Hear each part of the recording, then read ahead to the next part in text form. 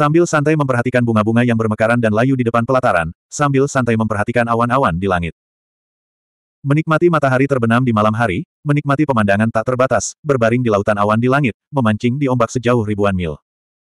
Kehidupan yang santai dan santai seperti ini tentu saja tidak akan bertahan lama. Zhang Fan, yang sedang berbaring di atas karang, tiba-tiba berubah ekspresi. Dia mendesah dalam hati dan menjentikkan tongkat pancingnya. Seekor ikan gemuk melompat keluar dari air. Gua, gua, gua. Saat Moling terbang, dia melahap makanan itu seperti yang dilakukannya sebelumnya. Baiklah, anak kecil, tidak ada yang lain. Pergi dan jemput anak kecil yang lain. Zhang Fan mengayunkan tongkat pancingnya dengan santai. Dengan suara, bang tongkat pancing panjang yang bisa digunakan untuk memancing di laut itu langsung berubah menjadi ki spiritual yang kacau dan menghilang tanpa jejak. Itu sebenarnya murni terkondensasi dari ki spiritual. Setelah mendengarkan perkataannya, peri Moling merintih enggan, tetapi tetap berubah menjadi pelangi dan terbang menjauh. Kecepatannya begitu cepat sehingga saat Zhang Fan mengubah posisinya menjadi nyaman, dia merasakan hembusan angin bertiup kencang. Peri Moling muncul kembali di depannya, dan di punggungnya, ada seorang pemuda sederhana berdiri. Menguasai. Pemuda sederhana itu memberi hormat dengan hormat, lalu berdiri dengan hormat di samping Zhang Fan. Setelah melakukan ini, sedikit kegembiraan dan keakraban terlihat di matanya, tetapi semua ini tersembunyi dalam sikap hormat dan pendiamnya. Anak ini. Zhang Fan menggelengkan kepalanya dalam hati. Xiaolong memang hebat dalam segala hal, tetapi dia terlalu jujur dan sederhana. Selain bersikap baik, dia juga sangat mementingkan hal-hal seperti kebaikan guru. Setiap kali Zhang Fan melihat Xiaolong seperti ini, dia tidak bisa tidak memikirkan bagaimana dia bisa akrab dengan Han Hao di masa lalu. Dibandingkan dengan Xiaolong, Han Hao adalah murid yang tidak berbakti. Setelah tidak bertemu selama beberapa tahun, Xiaolong resmi mulai berkultivasi di bawah bimbingan bersama kakeknya dan Xiang Ming. Karena mereka berdua tidak punya kegiatan lain, mereka akan melatih naga kecil itu saat mereka tidak punya kegiatan. Selain itu, Zhang Fan tidak pelit dengan pil obatnya. Dalam beberapa tahun terakhir ini, tingkat kultivasinya telah mencapai lapisan ketujuh tahap pemurnian Qi. Seperti kata pepatah, pendahulu menanam pohon, generasi mendatang menuai keteduhan. Bakat Xiaolong tidak jauh berbeda dengan Zhang Fan di masa lalu. Pertemuannya juga biasa saja. Keduanya memiliki orang-orang yang memberinya persediaan pil obat dasar yang tak terbatas. Mengandalkan sepenuhnya dukungan pil obat, ia mampu mencapai kemajuan yang sama seperti para jenius berbakat dengan bakat biasa. Sejujurnya, kemajuan Xiaolong mirip dengan Zhang Fan. Meskipun dia sedikit lebih cepat, itu dengan syarat dia tidak memiliki beban kekuatan Dharma. Ketika dia kembali ke Qinzhou, dia secara alami akan diizinkan untuk mewarisi kekuatan Dharma. Jika semuanya berjalan lancar, kecepatan kultivasinya akan sangat melambat. Namun, dengan seorang guru seperti Zhang Fan, semua keuntungannya ada di masa depan. Tahap pemurnian Qi dan tahap pembentukan pondasi hanyalah formalitas, jadi dia tidak perlu terlalu mempedulikannya. Xiaolong ah, jika kau punya sesuatu untuk dikatakan, katakan saja. Xiaolong adalah anak yang jujur. Mengapa dia datang ke sini tanpa alasan? Dia berbeda dengan gurunya, Zhang Fan. Dulu, dia akan mengganggu Han Hao setiap kali dia tidak ada pekerjaan dan memeras semua pengetahuannya tentang pemurnian senjata darinya. Ya, Tuan. Star Master ada di sini. Aku tidak berani mengungkapkan berita bahwa kau sudah kembali, jadi kukatakan kau tidak ada di sini. Star Master menitipkan ini, katanya jika kau kembali, aku akan memberikannya padamu. Xiaolong mengeluarkan sesuatu dari tas kosmos di pinggangnya dan menyerahkannya kepada Zhang Fan. Tas kosmos miliknya hampir sama dengan yang digunakan Zhang Fan. Tas itu dibuat oleh Zhang Fan sendiri, berdasarkan tas yang diberikan Han Hao kepadanya.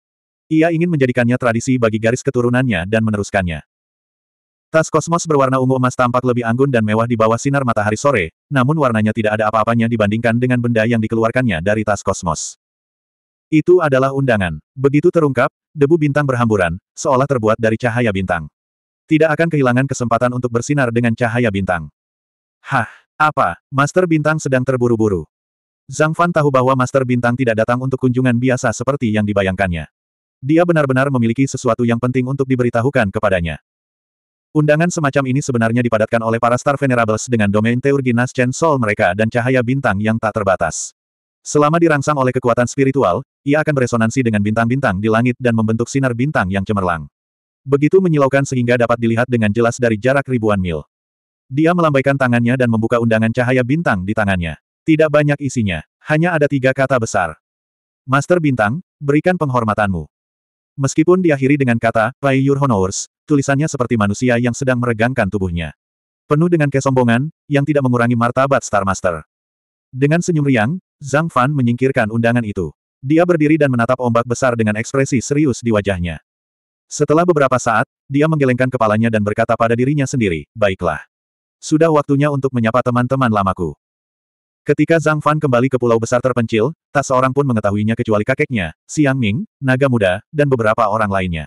Teologi yang dimilikinya saat ini sudah cukup untuk membuatnya setara dengan Su Tuntian dan yang lainnya. Selama dia tidak menunjukkannya dengan sengaja, bagaimana orang lain bisa mengetahuinya? Akibatnya, tidak ada yang tahu bahwa dia telah memancing di ombak selama lebih dari sebulan. Kalau tidak, Master Bintang akan datang kepadanya secara langsung alih-alih pergi ke istana. Aduh, aku tidak bisa malas. Zhang Fan tampak bergumam pada dirinya sendiri. Suaranya menyebar ke seluruh lautan. Kemudian dia meregangkan tubuhnya. Saat ia meregangkan tubuhnya, sesuatu seperti keluar dari tubuhnya, yang tampaknya tidak terlalu kuat, dan langsung membubung tinggi ke angkasa, melampaui sembilan surga. Tiba-tiba, angin bertiup kencang dan awan-awan bergulung-gulung. Terdengar gemuruh guntur, tetapi tidak ada angin. Awan-awan di langit bergulung dan berkumpul menjadi matahari terbenam yang merah. Awan-awan yang tak berujung itu terbentuk dan mengembun menjadi burung gagak emas, yang berteriak keras. Aura Golden Crow, aura Zhang Fan, dan kekuatan yang mengagumkan dari seorang Master Taoist Nas Chen Sol, disertai dengan tindakan ini, menyebar ke kepulauan Great Desolate dan laut tanpa batas. Dalam jarak ribuan kilometer, baik manusia maupun binatang iblis merasa seolah-olah ada sesuatu yang tiba-tiba muncul di surga dan bumi. Mereka tidak dapat mengatakan apa itu, dan jantung mereka mulai berdebar kencang. Perasaan ini bagaikan gunung yang menjulang tinggi. Meski tak berkata apa-apa, saat angin bertiup dan awan bergemuruh, keberadaannya takkan pernah terabaikan. Begitu Zhang Fan menampakkan aura seorang Naschen Soul Cultivator, dia melepaskannya tanpa menahan diri.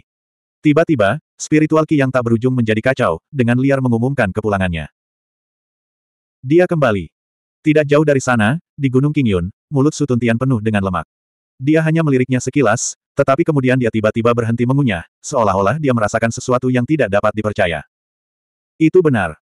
Su Tuntian terdiam. Dia bahkan tidak menyadari bahwa kaki sapi di tangannya telah terlepas. Baru tiga tahun. Berpikir kembali ke tiga tahun lalu, dia bertanya-tanya seberapa besar peningkatan Zhang Fan setelah dia pergi. Dia tidak pernah menyangka bahwa ide tergilanya akan menjadi kenyataan. Apakah ada keadilan di dunia ini? Su Tuntian menggelengkan kepalanya dan mengambil kaki sapi itu dari tanah. Tanpa menghiraukan debu di atasnya, ia mengubah kesedihan dan kemarahannya menjadi kekuatan dan mulai mengunyah. Anak baik. Dia seorang kultivator jiwa baru lahir. Bagaimana itu mungkin? Tiga tahun. Pada saat yang sama, Dragon Saturner, Todd, Li Peng, dan Kong Feng semuanya merasakan salam Zhang Fan dan tidak bisa berkata-kata. Meskipun mereka tahu bahwa pembudidaya manusia jauh lebih cepat daripada monster, tidak ada alasan bagi mereka untuk menjadi jauh lebih cepat. Sesaat, semua Raja Monster merasa curiga. Baru beberapa tahun berlalu, dan seorang junior dengan masa depan yang menjanjikan telah menjadi setara dengan mereka. Apa yang akan terjadi dalam beberapa tahun? Ledakan. Beberapa ledakan datang dari seluruh pulau besar yang terpencil. Tikus penelan langit, merak angin dan api, naga banjir giok ungu, kodok api sembilan matahari, dan burung rok raksasa berpunggung emas muncul di langit. Energi mereka berbeda. Membawa ki spiritual alam semesta, mereka berubah menjadi bentuk yang berbeda dan menanggapi gagak emas, yang merupakan salam. Dalam sekejap, langit di atas pulau besar terpencil menjadi ramai, seolah kembali ke zaman kuno, saat semua jenis monster kuat saling bertarung satu sama lain. Zhang Fan dan yang lainnya tentu saja tidak peduli betapa ngerinya para penggarap abadi dan bagaimana binatang iblis yang bodoh itu melarikan diri untuk menyelamatkan diri. Mereka saling bersentuhan dan menguji kekuatan masing-masing. Setelah beberapa saat, mereka membentuk jalan buntu di udara dan kemudian perlahan-lahan bubar. Pada saat itu, Zhang Fan tersenyum. Dia merasakan ada fluktuasi tak berbentuk di langit yang jauh, seolah-olah ada makhluk kuat yang merasakan gangguan itu. Dia tersenyum dan memegang undangan Star Venerable di tangannya. Dia memfokuskan kekuatan spiritualnya pada undangan itu dan mengaktifkan kekuatannya dalam sekejap. Hari masih senja dan langit masih cerah, namun ada beberapa bintang yang berkelap-kelip di langit, seolah tengah menatap undangan di tangannya. Kemudian, dengan undangan bintang di tangannya sebagai penunjuk jalan dan bintang-bintang di langit sebagai penyangga, seberkas cahaya bintang jatuh dari langit. Cahaya itu bagaikan pilar cemerlang yang dapat membelah langit dan bumi. Hampir di saat yang bersamaan, di persimpangan air dan langit di kejauhan, kabut yang mencair mula-mula naik, dan kemudian di area itu, pemandangan senja yang remang-remang tiba-tiba menjadi gelap. Teriakan panjang terdengar. Langit berbintang tanpa bulan telah menggantikan senja. Langit penuh bintang. Cahaya bintang bersinar. Langit tampak kabur dan indah. Saat teriakan itu bergema, cahaya bintang yang kabur itu tiba-tiba menyapu lautan seperti tornado. Ia membawa serta air laut yang tak berujung, yang melonjak naik dan meningkatkan kekuatannya. Bintang yang mulia, dia masih saja sangat mencolok. Zhang Fan menahan tenaganya dan menggelengkan kepalanya. Sekarang, hanya bisa jadi seorang Star Venerable yang terbang bersama kegelapan. Xiao Long, ayo kembali. Kita punya tamu. Di kaki gunung hijau, dikelilingi air hijau, dengan tanaman merambat yang merambat di pagar, dan angin sepoi-sepoi bertiup. Itu adalah surga yang damai. Di aula sebuah rumah bangsawan kecil, Zhang Fan mengangkat cangkirnya untuk bersulang. Ia berkata, Tuan-tuan, silakan. Lalu dia menyesap teh di tangannya dan menatap kedua orang yang duduk di tanah dengan penuh minat. Salah satu dari mereka jelas-jelas adalah seorang Star Venerable, sementara yang lainnya adalah seorang lelaki tua yang belum pernah dilihatnya sebelumnya. Dia mengenakan jubah merah tua, dan gambar matahari merah yang menerobos awan dan menerangi segalanya tersulam di dadanya. Melihat lelaki tua itu dengan serius, Zhang Fan berkata dengan santai, Selamat datang, Yang Mulia Bintang dan temanku. Apa yang bisa saya lakukan untuk Anda? 662. Selamat datang, Yang Mulia Bintang dan rekan praktisi Taoisme ini. Apa yang bisa saya bantu? Zhang Fan berkata dengan santai, sambil melirik ke arah Yang Mulia Bintang dan lelaki tua berpakaian merah mewah. Matanya menatap lelaki tua berpakaian mewah itu untuk beberapa saat. Dia tidak ingin bicara omong kosong tentang kehadirannya. Star Venerable langsung mendatanginya dan segera berbalik setelah menerima pesannya. Akan aneh jika dia mengatakan dia tidak membutuhkan bantuannya. Ketika dia sedang memancing di tepi pantai, dia tidak tahu mengapa Yang Mulia Bintang, seorang dewa berpengalaman di alam Yuan Ying, datang kepadanya, dan dia memiliki banyak bawahan. Baik kekuatan maupun pengaruhnya sangat mengesankan. Bagaimana dia bisa datang kepadanya? Jika Yang Mulia Bintang tidak dapat menyelesaikan masalah, apa yang dapat dilakukan Sang Fan untuknya? Ketika dia melihat lelaki tua berpakaian merah yang mewah, dia akhirnya mendapat petunjuk tentang jawabannya. Zhang Fan menahan kegembiraannya dan menatap sang bintang seolah-olah tidak terjadi apa-apa. Sahabatku, aku tidak menyangka kau telah mencapai pencapaian agung alam Yuan Ying hanya dalam waktu tiga tahun. Kau sungguh menakjubkan. Tidak ada yang dapat menandingimu. Aku sangat mengagumimu. Yang mulia bintang meletakkan cangkir tehnya dan mendesah. Apa arti tiga tahun bagi para kultivator di level mereka? Belum lagi memecah eliksir untuk membentuk Nas Chen Sol. Memecah eliksir untuk membentuk Nas Chen Sol berbeda dengan Great Accomplishment of the Gold Elixir. Great Accomplishment of the Gold Elixir membutuhkan waktu kerja keras yang lama, dan perubahan kuantitatif akan mengarah pada perubahan kualitatif. Namun, Condensation Nas Sol berbeda. Ia membutuhkan waktu akumulasi yang lama, dan ia akan berubah menjadi terobosan sesaat. Tampaknya Naschen Soul Condensation jauh lebih pendek daripada eliksir formasi. Namun, itu jauh lebih sulit dan berbahaya daripada pencapaian hebat eliksir emas. Untuk dapat membentuk pencapaian agung jiwa baru lahir dalam tiga tahun, tampaknya Yang Mulia Bintang telah menyiapkan semua bahan spiritual dan ramuan yang dibutuhkan untuk jiwa baru lahir kondensasi, serta pemahaman tentang alam Yuan Ying, dan sebagainya. Hanya mungkin baginya untuk berhasil pada percobaan pertama. Itulah yang dipikirkan oleh Yang Mulia Bintang. Sejujurnya, Yuan Ying kedua adalah hal yang jauh. Bahkan beberapa kultivator Yuanying yang terkenal tidak dapat memperolehnya, belum lagi Zhang Fan, yang baru berada di keadaan inti sari tiga tahun lalu. Jadi dia tidak pernah memikirkannya. Jika Yang Mulia Bintang hanya memiliki kekaguman di matanya, maka lelaki tua dengan pakaian mewah di sebelahnya memiliki lebih dari itu. Dia tampaknya telah melukai dirinya sendiri. Zhang Fan dapat mengatakan bahwa tingkat kultivasi orang ini berada di sekitar puncak tahap pembentukan inti. Dengan kata lain, tidak termasuk jiwa baru lahir kedua, keduanya berada pada tingkat yang hampir sama. Yang mulia bintang, Anda menyanjung saya. Saya tidak pantas menerimanya. Zhang Fan tersenyum lembut. Ia menunjuk ke belakang dan berkata kepada Xiao Long, yang sedang menunggu di samping, Xiao Long, kemarilah. Sajikan teh untuk kedua paman master. Karakter Xiao Long yang sederhana menunjukkan kelebihannya saat ini. Dia menjawab dengan hormat begitu Zhang Fan memanggilnya, lalu dia pergi untuk menyajikan teh untuk mereka bertiga. Menghadapi dua penggarap Yuanying dan satu yang berada di puncak keadaan inti bantalan, sebagai seorang pemuda di keadaan kipemurnian, dia sama sekali tidak takut. Dia tenang dan kalem, menunjukkan sikap seorang guru besar. Apakah ini murid rekan Daois Zhang? Yang mulia bintang memujinya dan bertanya. Ketika dia datang ke sini, Xiao Long yang menyambutnya. Namun, dia hanyalah seorang pemuda di alam pemurnian Qi, jadi yang mulia bintang yang sombong itu tidak menganggapnya serius. Dia bahkan tidak menanyakan identitasnya. Melihat sikap Zhang Fan, dia bahkan memintanya untuk melayani mereka bertiga. Bagaimana mungkin dia tidak tahu posisinya di hati Zhang Fan? Benar, dia muridku. Zhang Fan berkata sambil tersenyum, nama saya Lai Xiaolong. Senang bertemu dengan Anda, Master Paman Star Venerable. Dan ini adalah... Mendengar pertanyaannya, lelaki tua berpakaian mewah itu berdiri dan memperkenalkan dirinya, saya Lai Kuan, pemilik Sun Sin Island. Senang bertemu dengan Anda, temanku. Lai Kuan, pemilik Sun Sin Island. Salah satu dari mereka adalah pemilik Pulau Bintang, seorang kultivator Yuanying dan seorang Star Venerable.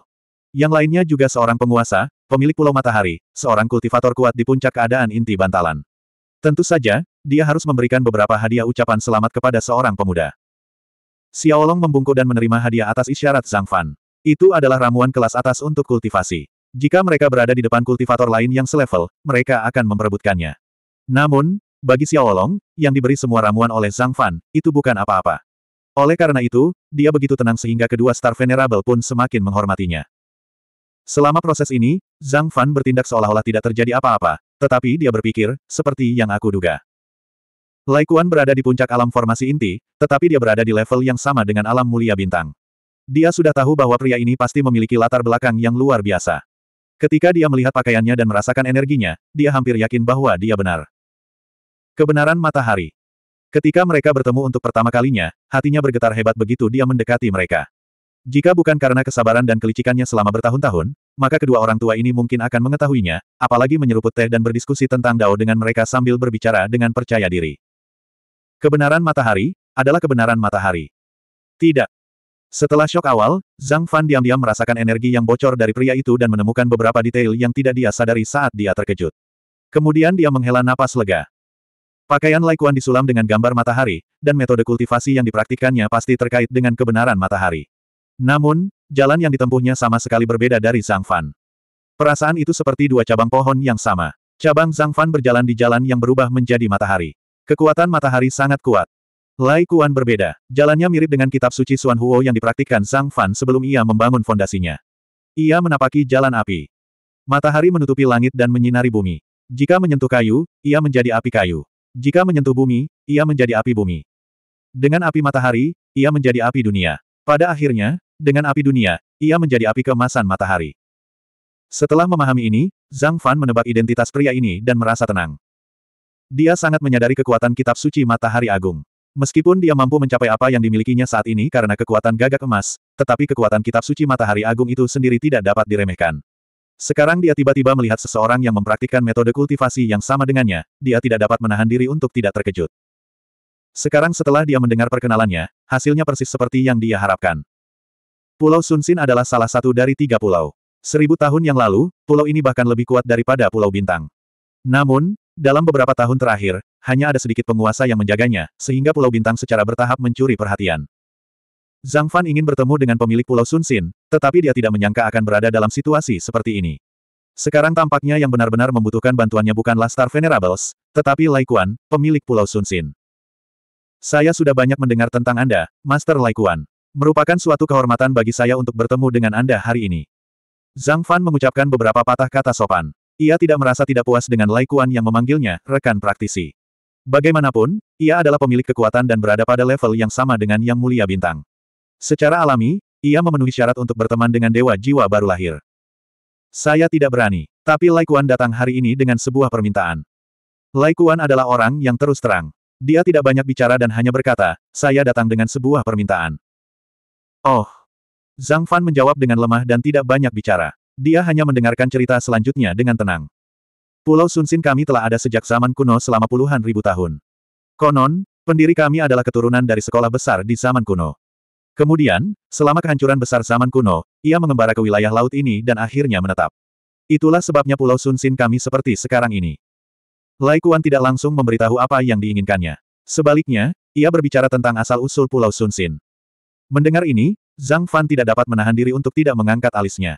Meskipun dia tahu bahwa Pulau Bintang adalah pulau terakhir yang dibangun di antara ketiga pulau itu, dia tidak menyangka Pulau Matahari akan dibangun begitu awal. Dan menurut perkataan Lai Kuan, pendirinya pastilah seorang pewaris Taois Matahari Merah. Mungkin dia tidak mempelajari semuanya dan harus menebusnya. Itulah sebabnya dia menempuh jalan lain. Sementara Zhang Fan sedang berpikir, Lai Kuan tidak berhenti. Ia terus berbicara dan akhirnya berbicara tentang tujuan kedatangannya kepada Zhang Fan untuk meminta bantuan. Sulit untuk mengatakan apakah garis keturunan Pulau Sinar Matahari menemukannya secara tidak sengaja atau apakah pendirinya adalah seorang jenius, tetapi kekuatan pemahaman sejati mereka yang dimodifikasi tentang matahari sama sekali tidak lemah. Selama bertahun-tahun, mereka telah menghasilkan sejumlah Master Taois tahap jiwa baru lahir, termasuk ahli maha kuasa tahap transformasi dewa. Hanya karena keturunan mereka tidak layak, mereka secara bertahap menurun. Alasan dia datang mencari Zhang Fan juga terkait dengan satu-satunya penguasa formasi jiwa. Saya mendengar dari rekan Star Venerable bahwa rekan sang ahli dalam Golden Sun Flame. Jadi saya datang untuk meminta bantuan Anda. Ini tentang Jalan Agung Jiwa baru lahir. Aku harus meminta bantuanmu. Jalan Agung Jiwa yang baru lahir. Ekspresi Zhang Fan berubah. Dia memperhatikannya dan bertanya, apa yang bisa saya bantu, Tuan Pulau? Saat itulah dia baru menyadari mengapa Lai Kuan datang ke sini, mengapa dia mendesaknya, dan mengapa dia bahkan meminta seorang Star Venerable untuk memperkenalkannya. Golden Sun Flame merupakan salah satu api terkuat di dunia fana. Setelah bertahun-tahun, dia belum pernah melihatnya pada orang lain selain dirinya sendiri. Yang ingin aku minta bantuanmu adalah membuka kotak ini dengan api matahari emasmu.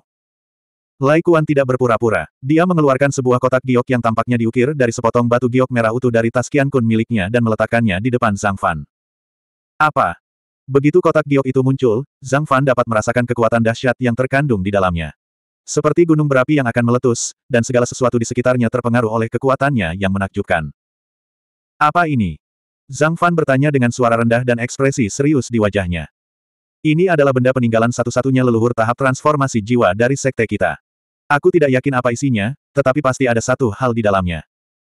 Zhang Fan merasakan suara Lai Kuan menjadi tergesa-gesa saat dia menyebutkan hal ini.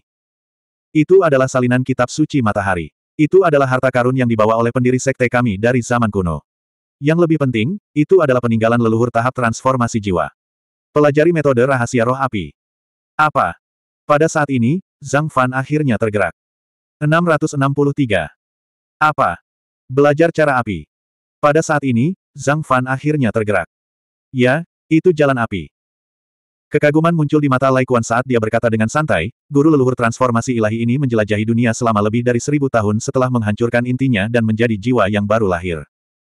Setelah mendengar penuturan Lai Kuan, raut wajah Zhang Fan berangsur-angsur menjadi serius. Ia tidak lagi percaya pada kata-kata, mengolah teknik roh api, tetapi malah sangat tertarik. Menurut Lai Kuan, leluhur master transformasi ilahi dari Pulau Sunsin ini tidak menonjol saat berada di Pulau Sunsin. Ia nyaris tidak mematahkan inti dirinya dan menjadi jiwa baru lahir. Singkatnya, ia tidak terlihat seperti seseorang yang dapat mencapai kesuksesan besar dalam jiwa esensinya dan hidup selamanya. Tanpa diduga, guru leluhur ini memiliki tekad dan ketekunan yang besar. Begitu dia membentuk jiwa baru lahirnya, dia tidak menikmati kehormatan dan status yang seharusnya dia dapatkan. Sebaliknya, dia langsung menjelajahi dunia selama seribu tahun. Apa yang dilakukannya adalah memahami spiritualitas api dan mencapai alam yang tak terbayangkan. Karena dia memasuki daun melalui api, bagaimana dia bisa mencapai kesuksesan besar dalam jiwa esensinya tanpa memahami spiritualitas api. Jalan yang ditempuhnya tidaklah aneh, namun tekad dan kegigihannya patut dikagumi. Pemahaman orang ini bukanlah untuk menjelajahi dunia, tetapi untuk mencoba satu hal demi satu hal dengan tubuhnya. Sama seperti Senong yang mencicipi seratus rumput, ia mencoba semua jenis api. Di kawah gunung berapi itu, ia duduk bersila selama seratus tahun tanpa bergerak. Dengan tubuhnya, ia menderita siksaan tak berujung dari letusan api bumi. Di hutan api hantu, dia memberi makan hantu dengan tubuhnya dan menanggung rasa sakit dibakar oleh api hantu yang tak berujung. Ia menyerap api surgawi ke dalam jiwa barunya dan melunakkan tubuhnya dengan semua jenis api di dunia.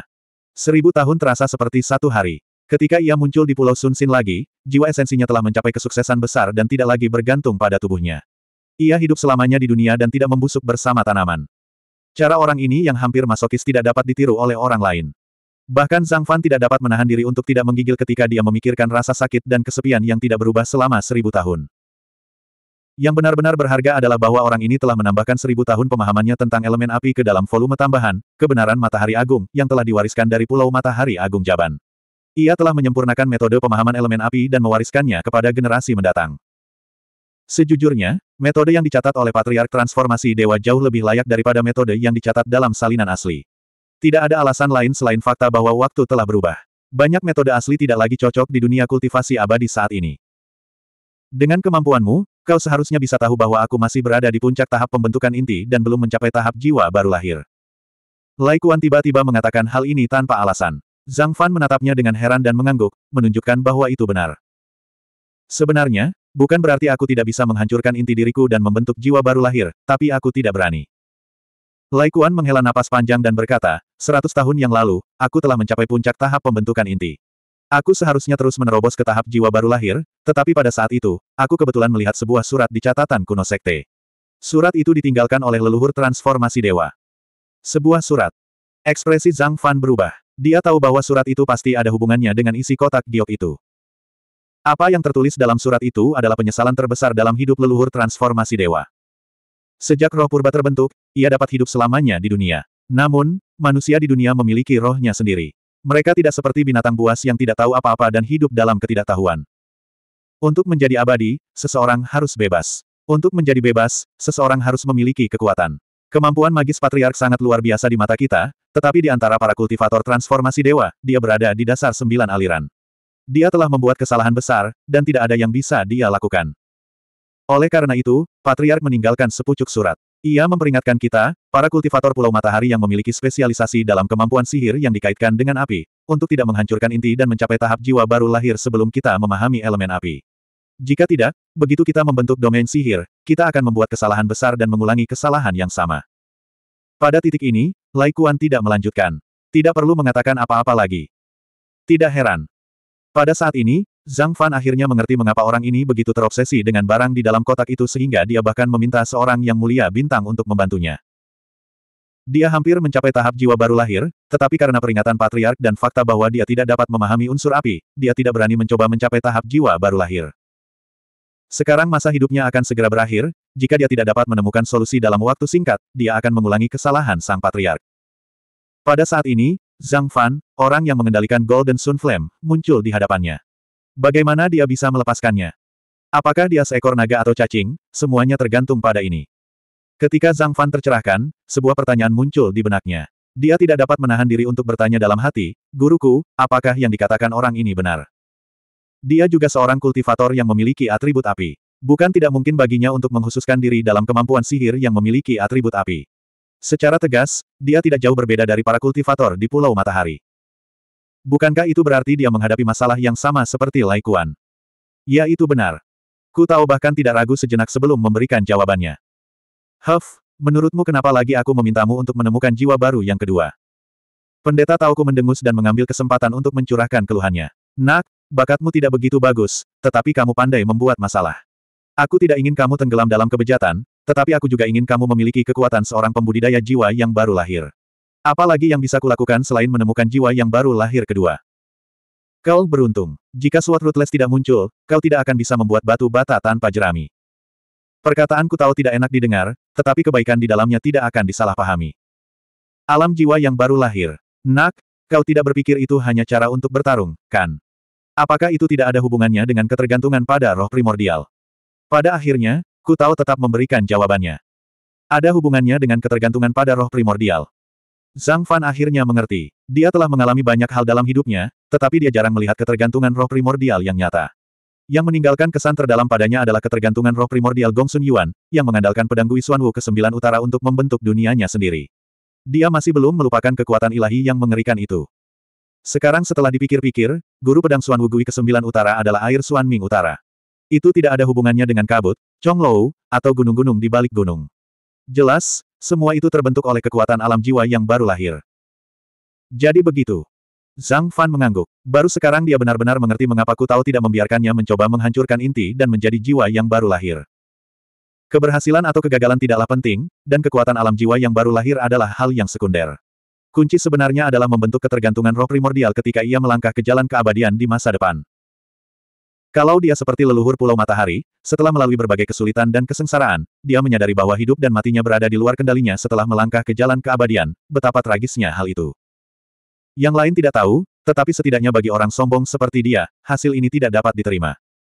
Saya harus memahami spiritualitas api. Kalau tidak, apa gunanya jiwa yang baru lahir? Apa gunanya kekuatan domain?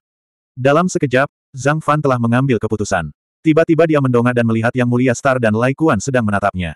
Yang Mulia Star tidak keberatan, karena dia hanya penasaran. Namun, Lai Kuan berbeda. Itu terkait dengan jalan keabadian, jadi dia tidak bisa menyembunyikan kegugupan di wajahnya. Melihat Zhang Fan menatapnya, Lai Kuan buru-buru berkata, Teman Zhang, kulihat kau juga seorang kultivator atribut api. Jika kau tidak keberatan, setelah kotak giok ini dibuka, aku bersedia meminjamkannya padamu untuk dilihat. Bagaimana menurutmu? Pinjamkan padaku untuk dilihat. Dia bahkan tidak perlu berpikir untuk mengetahui bahwa benda yang dijaga dengan baik seperti itu pasti merupakan warisan yang sangat penting dari Pulau Sinar Matahari. Karena benda itu terkait dengan jalur pembentukan jiwa, bagaimana mungkin benda itu bisa menjadi biasa? Namun menurut Lai Kuan, tidak ada yang dapat dibandingkan dengan jalan keabadian. Tentu saja, dia tidak akan pelit untuk meminjamkannya kepada Zhang Fan. Selain itu, bagi para kultivator di level mereka, metode kultivasi orang lain paling-paling hanya dapat digunakan sebagai referensi. Tidak mungkin bagi mereka untuk beralih ke jalur kultivasi lain. Lai Kuan tidak tahu tentang ini. Perbedaan dalam kultivasi mereka membuatnya tidak mungkin baginya untuk merasakan bahwa Zhang Fan juga mengolah metode kultivasi kitab suci Matahari Agung, tetapi dia sendiri sudah mengetahuinya. Itulah sebabnya dia membuat keputusan yang diinginkan Zhang Fan. Bagus, Zhang Mouseng telah menderita.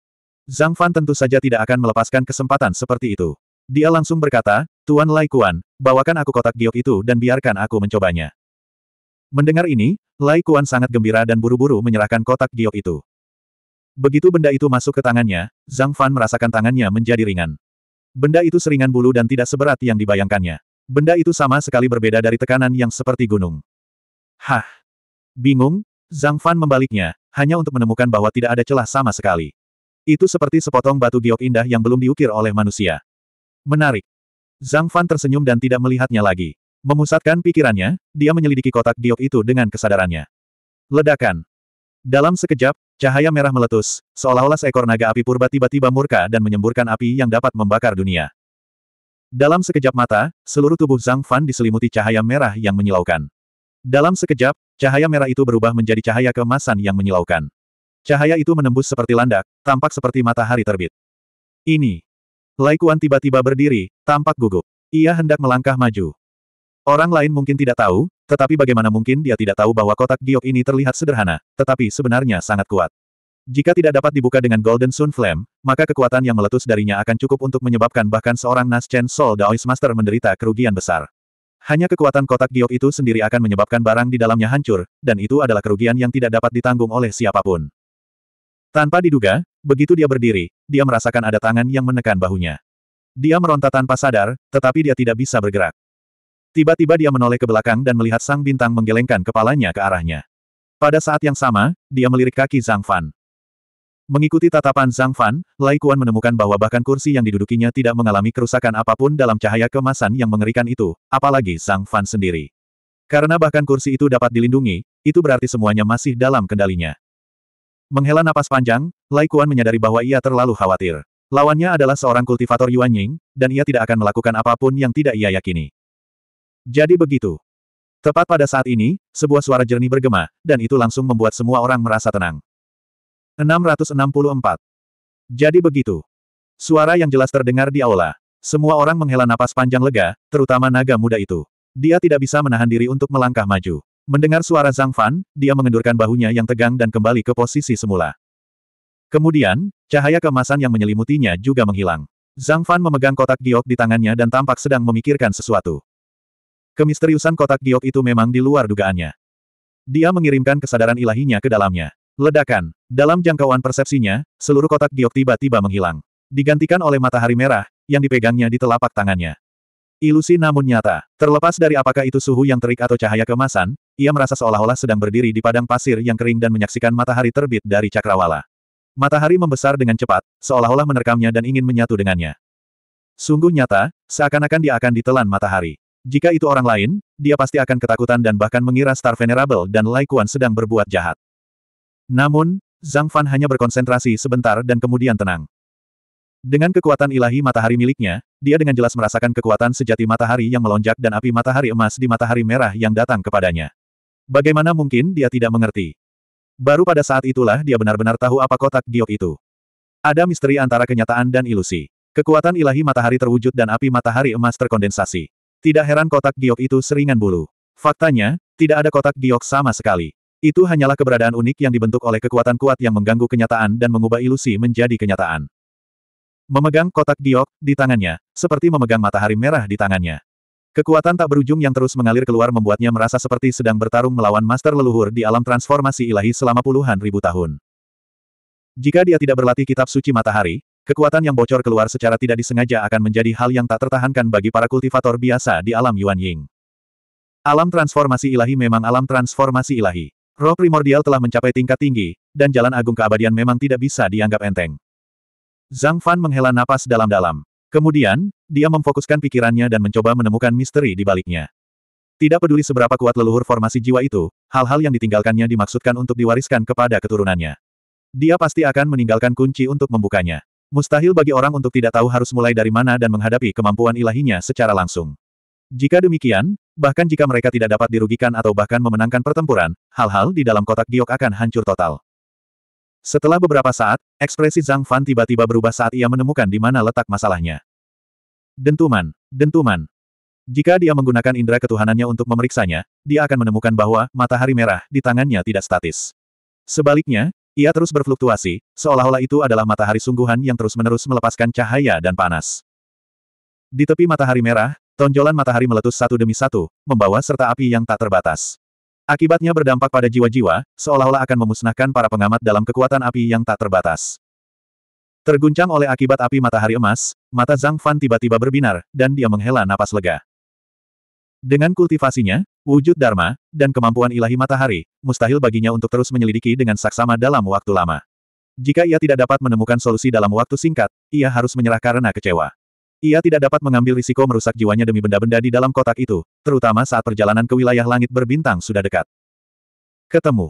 Zhang Fan tiba-tiba mendongak dan berkata dengan percaya diri kepada Yang Mulia Bintang dan Lai Kuan. Benar-benar. Lai Kuan sangat gembira. Dia sangat jelas tentang teror tak terbatas yang tersembunyi di balik tampilan kotak giok yang polos. Itulah sebabnya dia begitu khawatir dan cemas. Sekarang setelah dia mendengar pernyataan Zhang Fan, dia langsung kehilangan ketenangannya dan bahkan menyuarakan keraguan seperti itu. Begitu dia berbicara, dia merasa ada yang tidak beres, jadi dia bergegas untuk memperbaiki keadaan. Rekan kultivator, tolong jangan salahkan saya. Saya tidak bermaksud begitu. Sebelum dia bisa menyelesaikan perkataannya, Zhang Fan melambaikan tangannya untuk menghentikannya, lalu memberinya isyarat dengan matanya untuk memperhatikan kotak giok itu. Di bawah tatapan Star Venerable dan Lai Kuan, kotak giok di tangan Zhang Fan, yang tampaknya tidak memiliki fluktuasi apa pun di permukaan, tiba-tiba mengalami perubahan yang jelas. Cahaya kemasan melesat keluar dari antara alis Zhang Fan, mengikuti lengan dan telapak tangannya, dan akhirnya berkumpul di kotak giok. Saat cahaya kemasan itu menjadi lebih tebal dan lebih panjang, suhunya yang sangat tinggi dan kekuatannya yang tak terbatas muncul. Baik Star Venerable maupun Lai Kuan menjadi pucat. Lai Kuan merasa iri sekaligus senang. Hingga saat itu, dia tidak percaya bahwa api matahari emas, yang tidak dapat diolah oleh siapa pun di Pulau Sunsin selama beberapa generasi, telah diolah oleh orang luar. Dia tidak dapat menahan rasa iri, tetapi juga senang. Dia merasa beruntung karena tidak menemukan orang yang salah.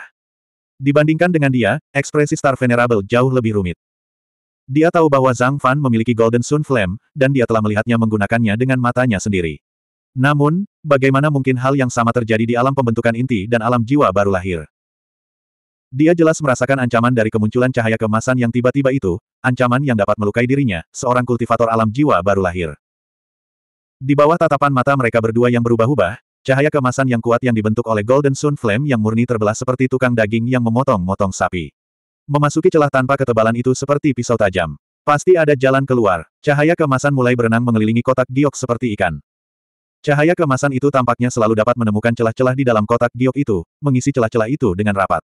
Pada kotak giok itu, cahaya itu tampaknya telah berubah menjadi garis kemasan, secara bertahap mengikuti garis luar kotak giok itu, berubah menjadi sebuah lingkaran. Besar. Seketika, Star Venerable dan Lai Kuan tampak gembira. Mereka cukup berpengalaman untuk mengatakan bahwa Zhang Fan telah menemukan jalan dan berjalan di jalan yang benar. Namun, Zhang Fan tidak punya waktu untuk memperhatikan mereka. Dia memusatkan seluruh perhatiannya pada matahari merah di tangannya. Ledakan. Sebuah tonjolan matahari muncul. Kekuatan tak berujung hampir mengalir di sepanjang lengannya untuk menyerang jiwa ilahinya. Tepat pada saat ini, ekspresi Zhang Fan tidak berubah. Dia bertindak seolah-olah dia tidak merasakan apa pun. Sebaliknya, dia menggunakan seberkas api matahari keemasan untuk menghindari letusan tonjolan matahari, mengisi celah yang diciptakan oleh letusan tonjolan matahari. Dalam sekejap, api itu langsung menuju ke inti. Berkat api matahari emas, ia tidak bisa ditolak. Itulah rahasia kotak giok yang ditinggalkan oleh seorang kultivator alam semi-dewa. Itu juga satu-satunya cara untuk memecahkannya tanpa merusak giok dan batu biasa. Kuncinya adalah Golden Sun Flame.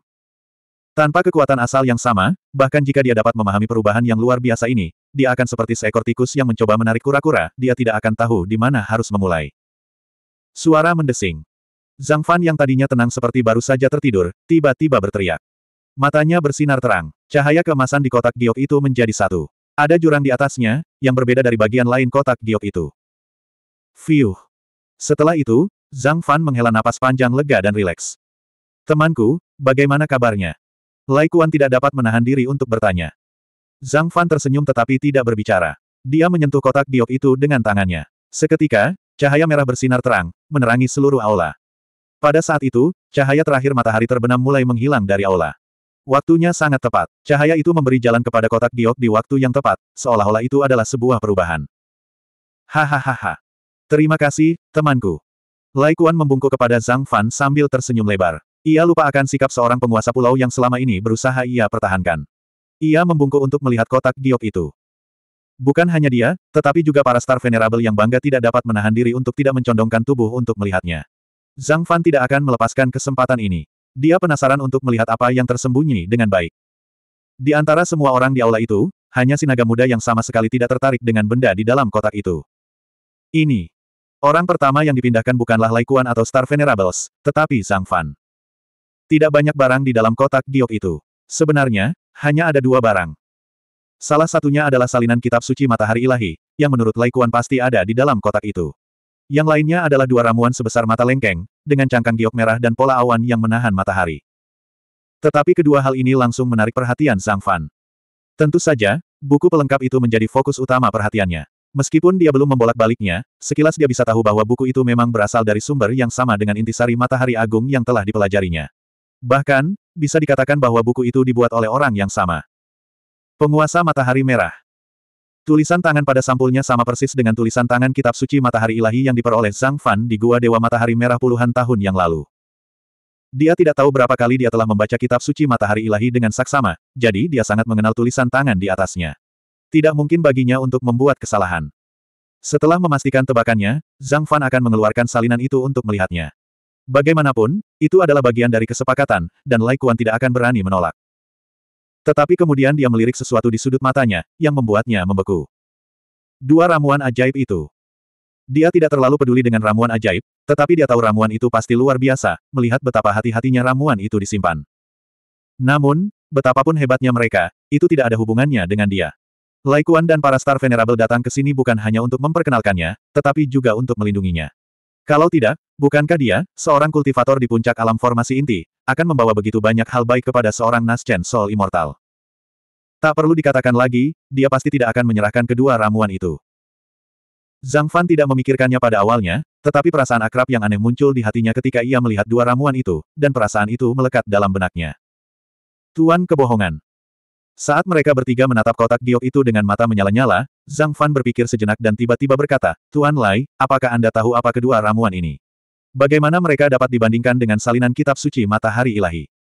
Saat dia bicara, dia memasang ekspresi sangat ingin tahu. Itu wajar saja. Lagi pula, di samping buku terpenting sekte, hanya ada dua pil yang diletakkan sendiri. Bahkan jika mereka mengatakan bahwa itu tidak penting, tidak ada yang akan mempercayainya. Oh, harta karun ini disebut esensi matahari. Harta karun ini dibawa oleh pendiri pulau ini dari sekte kuno. Awalnya ada empat, tetapi setelah dikonsumsi turun-temurun, hanya setengahnya yang tersisa. Esensi matahari. Jadi begitu. Suara yang jelas terdengar di aula. Semua orang menghela napas panjang lega, terutama naga muda itu. Dia tidak bisa menahan diri untuk melangkah maju. Mendengar suara Zhang Fan, dia mengendurkan bahunya yang tegang dan kembali ke posisi semula. Kemudian, cahaya keemasan yang menyelimutinya juga menghilang. Zhang Fan memegang kotak giok di tangannya dan tampak sedang memikirkan sesuatu. Kemisteriusan kotak giok itu memang di luar dugaannya. Dia mengirimkan kesadaran ilahinya ke dalamnya. Ledakan. Dalam jangkauan persepsinya, seluruh kotak giok tiba-tiba menghilang. Digantikan oleh matahari merah, yang dipegangnya di telapak tangannya. Ilusi namun nyata. Terlepas dari apakah itu suhu yang terik atau cahaya kemasan, ia merasa seolah-olah sedang berdiri di padang pasir yang kering dan menyaksikan matahari terbit dari cakrawala. Matahari membesar dengan cepat, seolah-olah menerkamnya dan ingin menyatu dengannya. Sungguh nyata, seakan-akan dia akan ditelan matahari. Jika itu orang lain, dia pasti akan ketakutan dan bahkan mengira Star Venerable dan Lai Kuan sedang berbuat jahat. Namun, Zhang Fan hanya berkonsentrasi sebentar dan kemudian tenang. Dengan kekuatan ilahi matahari miliknya, dia dengan jelas merasakan kekuatan sejati matahari yang melonjak dan api matahari emas di matahari merah yang datang kepadanya. Bagaimana mungkin dia tidak mengerti? Baru pada saat itulah dia benar-benar tahu apa kotak giok itu. Ada misteri antara kenyataan dan ilusi. Kekuatan ilahi matahari terwujud dan api matahari emas terkondensasi. Tidak heran kotak giok itu seringan bulu. Faktanya, tidak ada kotak giok sama sekali. Itu hanyalah keberadaan unik yang dibentuk oleh kekuatan kuat yang mengganggu kenyataan dan mengubah ilusi menjadi kenyataan. Memegang kotak giok di tangannya, seperti memegang matahari merah di tangannya.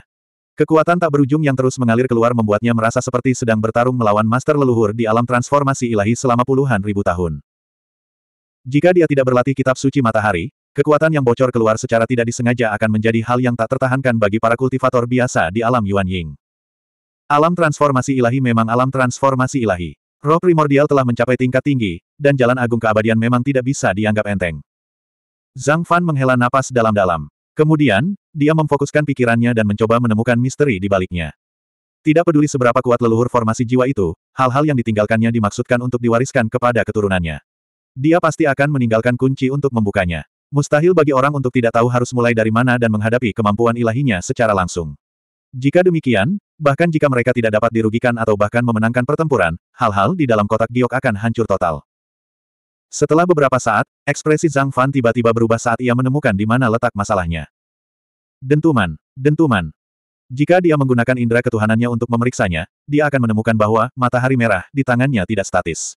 Sebaliknya, ia terus berfluktuasi, seolah-olah itu adalah matahari sungguhan yang terus-menerus melepaskan cahaya dan panas. Di tepi matahari merah, Tonjolan matahari meletus satu demi satu, membawa serta api yang tak terbatas. Akibatnya berdampak pada jiwa-jiwa, seolah-olah akan memusnahkan para pengamat dalam kekuatan api yang tak terbatas. Terguncang oleh akibat api matahari emas, mata Zhang Fan tiba-tiba berbinar, dan dia menghela napas lega. Dengan kultivasinya, wujud Dharma, dan kemampuan ilahi matahari, mustahil baginya untuk terus menyelidiki dengan saksama dalam waktu lama. Jika ia tidak dapat menemukan solusi dalam waktu singkat, ia harus menyerah karena kecewa. Ia tidak dapat mengambil risiko merusak jiwanya demi benda-benda di dalam kotak itu, terutama saat perjalanan ke wilayah langit berbintang sudah dekat. Ketemu. Zhang Fan tiba-tiba mendongak dan berkata dengan percaya diri kepada Yang Mulia Bintang dan Lai Kuan. Benar-benar. Lai Kuan sangat gembira. Dia sangat jelas tentang teror tak terbatas yang tersembunyi di balik tampilan kotak giok yang polos. Itulah sebabnya dia begitu khawatir dan cemas. Sekarang setelah dia mendengar pernyataan Zhang Fan, dia langsung kehilangan ketenangannya dan bahkan menyuarakan keraguan seperti itu.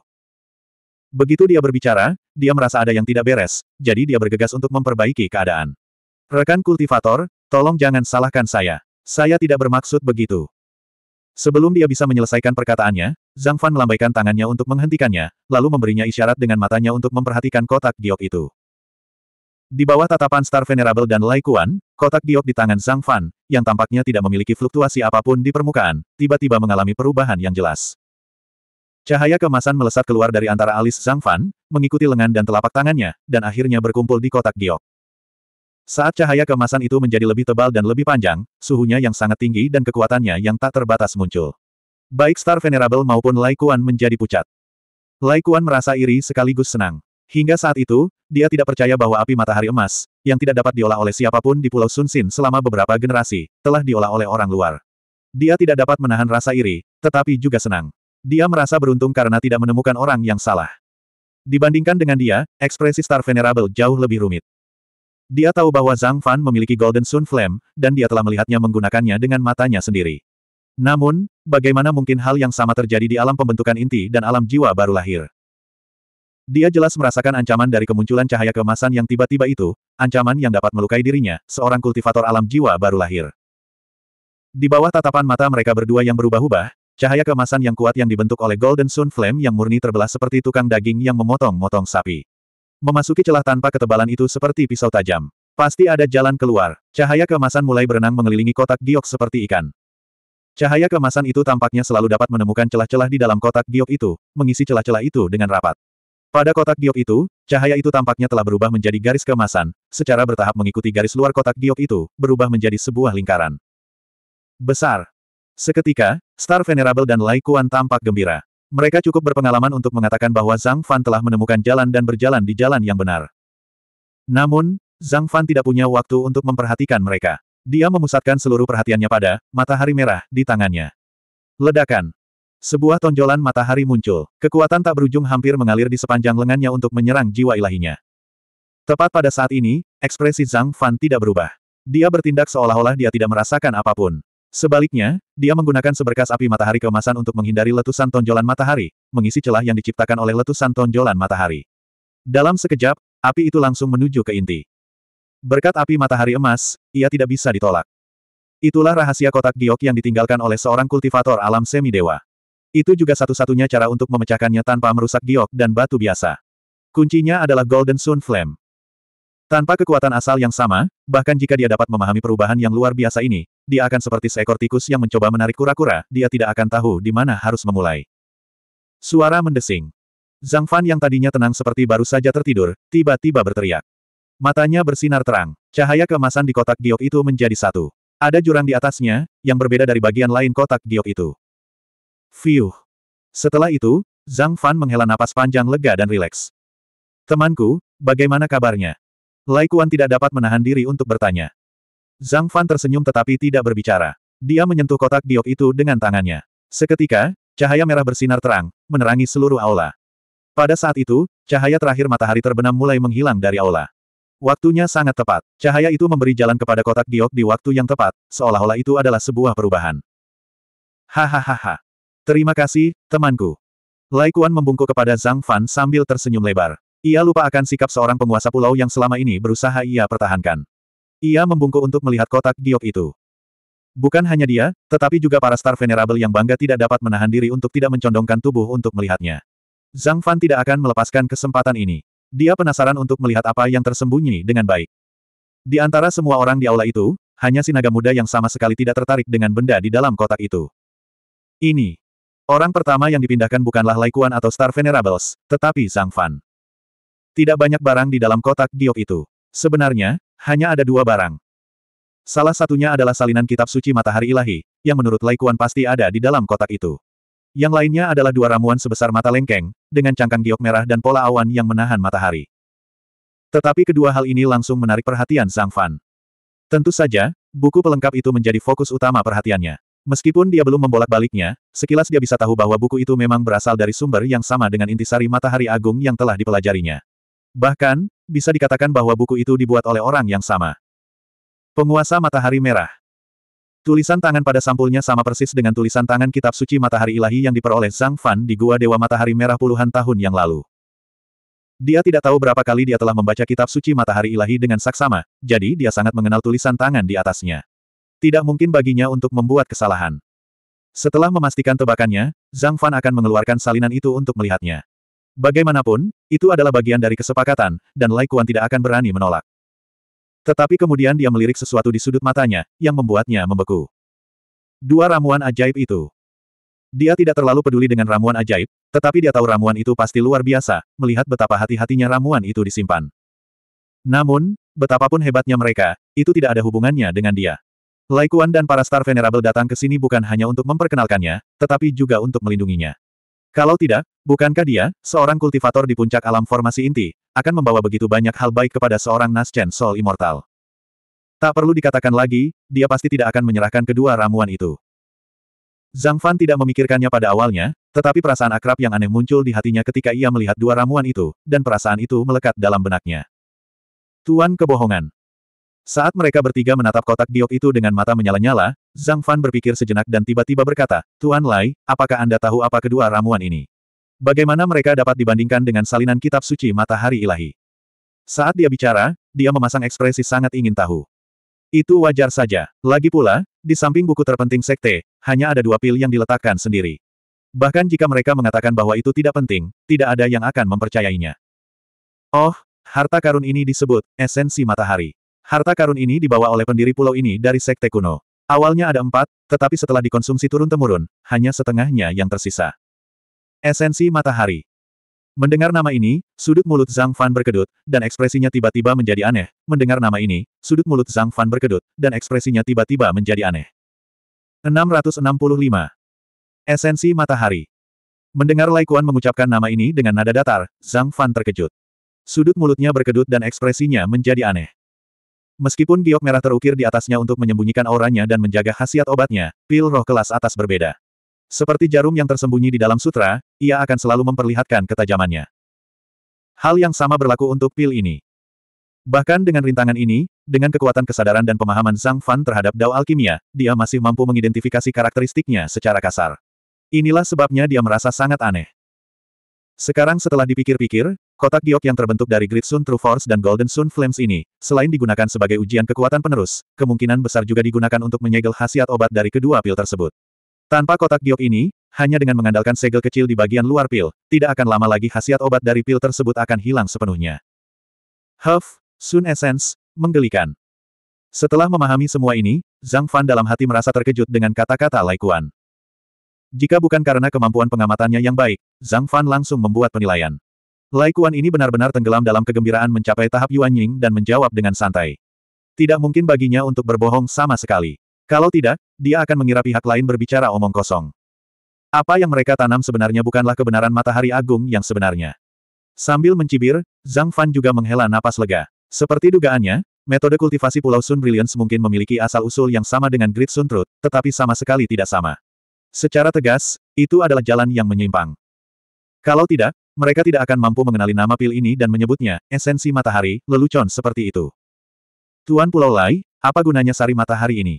Sambil berpikir, Zhang Fan bertanya dengan santai. Barang ini.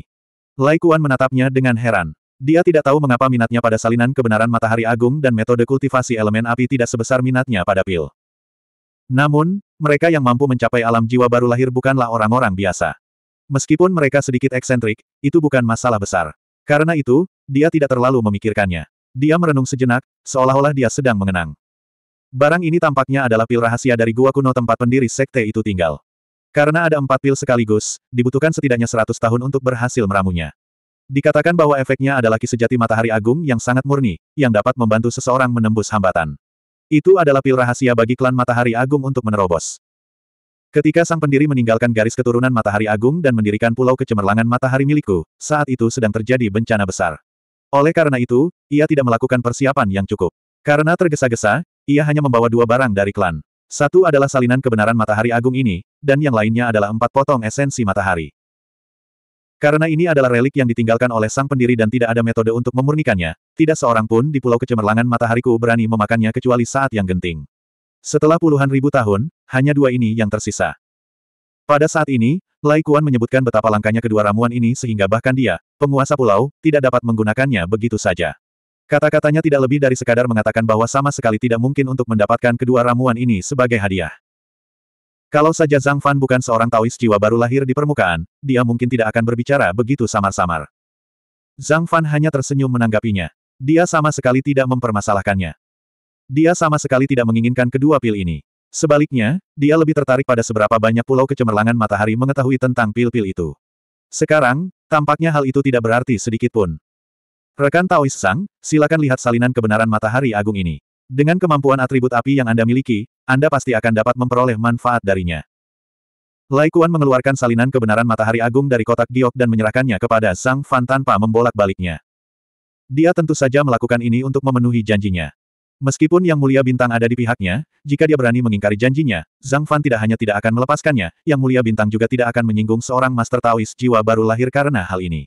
Oleh karena itu, dia melakukan ini secara alami dan tanpa rasa enggan. Ini adalah makna sebenarnya dari masalah ini. Zhang Fan tidak berpura-pura dan menerima salinannya setelah mengucapkan terima kasih. Setelah menyapa dengan santai dan meminta Xiaolong untuk terus menyajikan teh, Zhang Fan duduk di kursi kehormatan dan membolak-balik halaman demi halaman. Bagi para kultivator di level mereka, dengan perhatian yang terkonsentrasi, memiliki ingatan fotografis tidak lebih dari sekadar keterampilan kecil. Alasan dia perlahan-lahan membalik-balik halaman adalah karena dia mencoba memahami pemahaman dan makna sebenarnya yang terungkap di antara baris-baris kata orang yang menulisnya. Tidak sulit untuk membayangkan kultivasi seseorang yang dapat menulis buku Tao, terutama kultivasi spiritualnya, yang telah mencapai tingkat yang kuat di mana ia dapat mengganggu dunia nyata dan memadatkannya menjadi bentuk yang padat. Ketika orang seperti itu menulis dengan konsentrasi tinggi, pemahaman yang terungkap di balik baris-barisnya sering kali sama pentingnya dengan teks utama. Hal semacam ini dengan konsepsi spiritual yang kuat dapat dengan mudah membuat orang tersesat di dalamnya, terutama ketika mereka sedang berkonsentrasi pada isi buku Tao. Oleh karena itu, Lai Kuan tidak membolak-baliknya sendiri terlebih dahulu, tetapi langsung memberikannya kepada Zhang Fan. Ia takut jika ia terlalu asyik membacanya, Zhang Fan akan salah paham dan mengira ia akan mengingkari janjinya. Dalam hal ini, Zhang Fan memiliki keunggulan alami. Bahkan jika dia hanya membacanya sebentar, apa yang bisa dia pelajari pasti jauh lebih banyak daripada apa yang akan dipelajari Lai Kuan jika dia mempelajarinya dalam waktu lama setelah hari ini. Hal ini tidak ditentukan oleh kultivasi, tetapi oleh pengalaman. Sebelumnya, dia menyadari bahwa orang yang menulis salinan Grid Sun Truth ini tidak lain adalah orang yang menulis salinan asli Grid Sun Truth. Keduanya adalah ahli dari satu generasi, Red Sun Daolord, pemilik tempat tinggal yang telah dia jelajahi bertahun-tahun yang lalu. Oleh karena itu, setelah bertahun-tahun mempelajarinya, dia sangat familiar dengan tulisan tangan Daolord Red Sun dan pemahaman yang ditunjukkannya, sehingga lebih mudah baginya untuk melihat hakikat di dalamnya. Selain itu, Ketika pertama kali memasuki Foundation Establishment, ia membeli Void Step jadi Anulus saat pertama kali berpartisipasi di Ruins Market di Linhai. Pembicara Dao juga merupakan ahli yang tak tertandingi dari garis keturunan Great Sun mereka. Pada saat ini, ketika dia melihat salinan kebenaran matahari agung, pemahaman yang telah dia peroleh di masa lalu, dan bahkan dalam beberapa dekade terakhir, mengalir melalui pikirannya seperti air. Setiap kali dia membacanya, isi salinan itu tertanam kuat di kedalaman ingatannya. Setelah sekian lama, Zhang Fan menghela napas panjang. Dengan lambaian tangannya, seperti angin sepoi-sepoi, salinan kebenaran matahari agung yang terbuat dari bahan yang tidak diketahui itu perlahan ditutup. Tuan Pulau Lai, saya telah memperoleh banyak manfaat. Terima kasih. Zhang Fan memasukkan kembali salinan yang tertutup itu ke dalam kotak giok dan mengembalikannya kepada Lai Kuan. Dia berkata dengan tulus.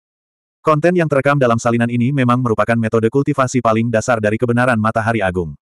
Dibandingkan dengan salinan aslinya, kontennya tidak jauh berbeda dengan perbedaan antara langit dan bumi. Agaknya, ini adalah versi yang disederhanakan yang dibuat oleh Daulord Matahari Merah untuk mencegah muridnya menggigit lebih dari yang bisa dikunyahnya.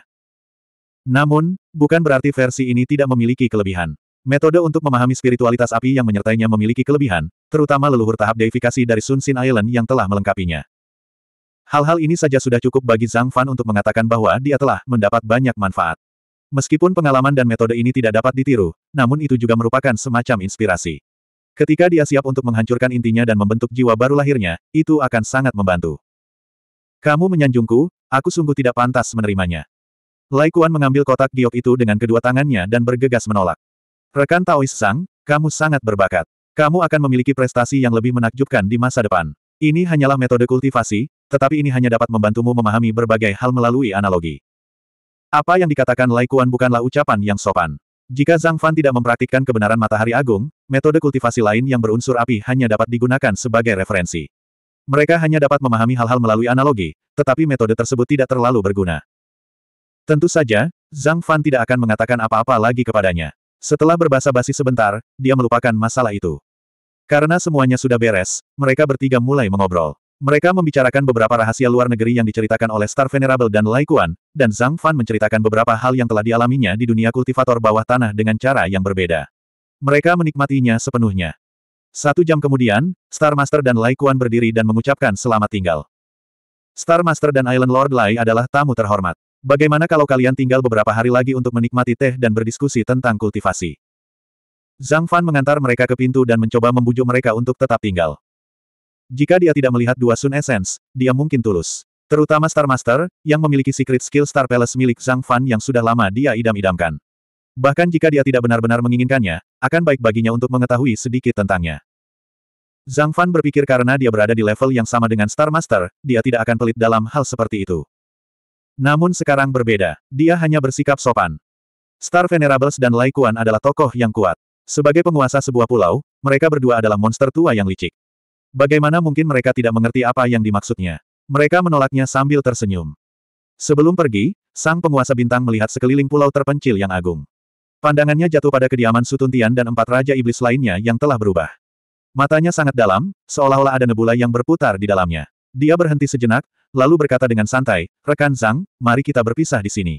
Kita akan bertemu lagi di wilayah langit berbintang dalam satu tahun. Oke. Satu tahun akan berlalu dalam sekejap mata. Aku akan menunggumu. Zhang Fan menggenggam kedua tangannya dan melihatnya menghilang ke langit. Pada saat-saat terakhir, dia masih bisa melihat penyesalan dan ketidakberdayaan Lai Kuan ketika dia mendengar tentang wilayah semesta. Dengan kultivasinya saat ini, dia tentu saja tidak berani masuk. Di tempat itu, di mana penggarap jiwa asli dan monster yang berubah bentuk biasa mati, bukankah dia, yang berada di puncak alam formasi inti, akan mencari kematian jika dia pergi? Namun, Zhang Fan tidak berminat untuk mempedulikannya. Hampir pada saat yang sama mereka menghilang dari pandangannya, dia berbalik dan berjalan menuju ruangan yang sunyi itu. Xiao Long, beritahu kakek dan paman siang bahwa aku akan menyendiri selama beberapa hari.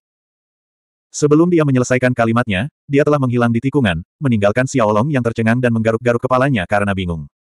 666. Pengasingan. Xiao Long tertegun, menggaruk kepalanya karena bingung. Dia tidak tahu mengapa gurunya, yang telah memberitahu Star Venerable dan Lai Kuan tentang guru lainnya, tiba-tiba ingin melakukan pengasingan. Saat dia masih menggaruk-garuk kepalanya karena bingung, sosok Zhang Fan telah menghilang dari pandangannya. Dalam keputusasaan, Xiaolong hanya bisa patuh mengikuti instruksi tuannya untuk memberitahu yang lain. Saat ini, Zhang Fan sudah duduk bersila di ruangan yang sunyi. Dia menarik napas dalam-dalam dan memejamkan mata dalam kegelapan.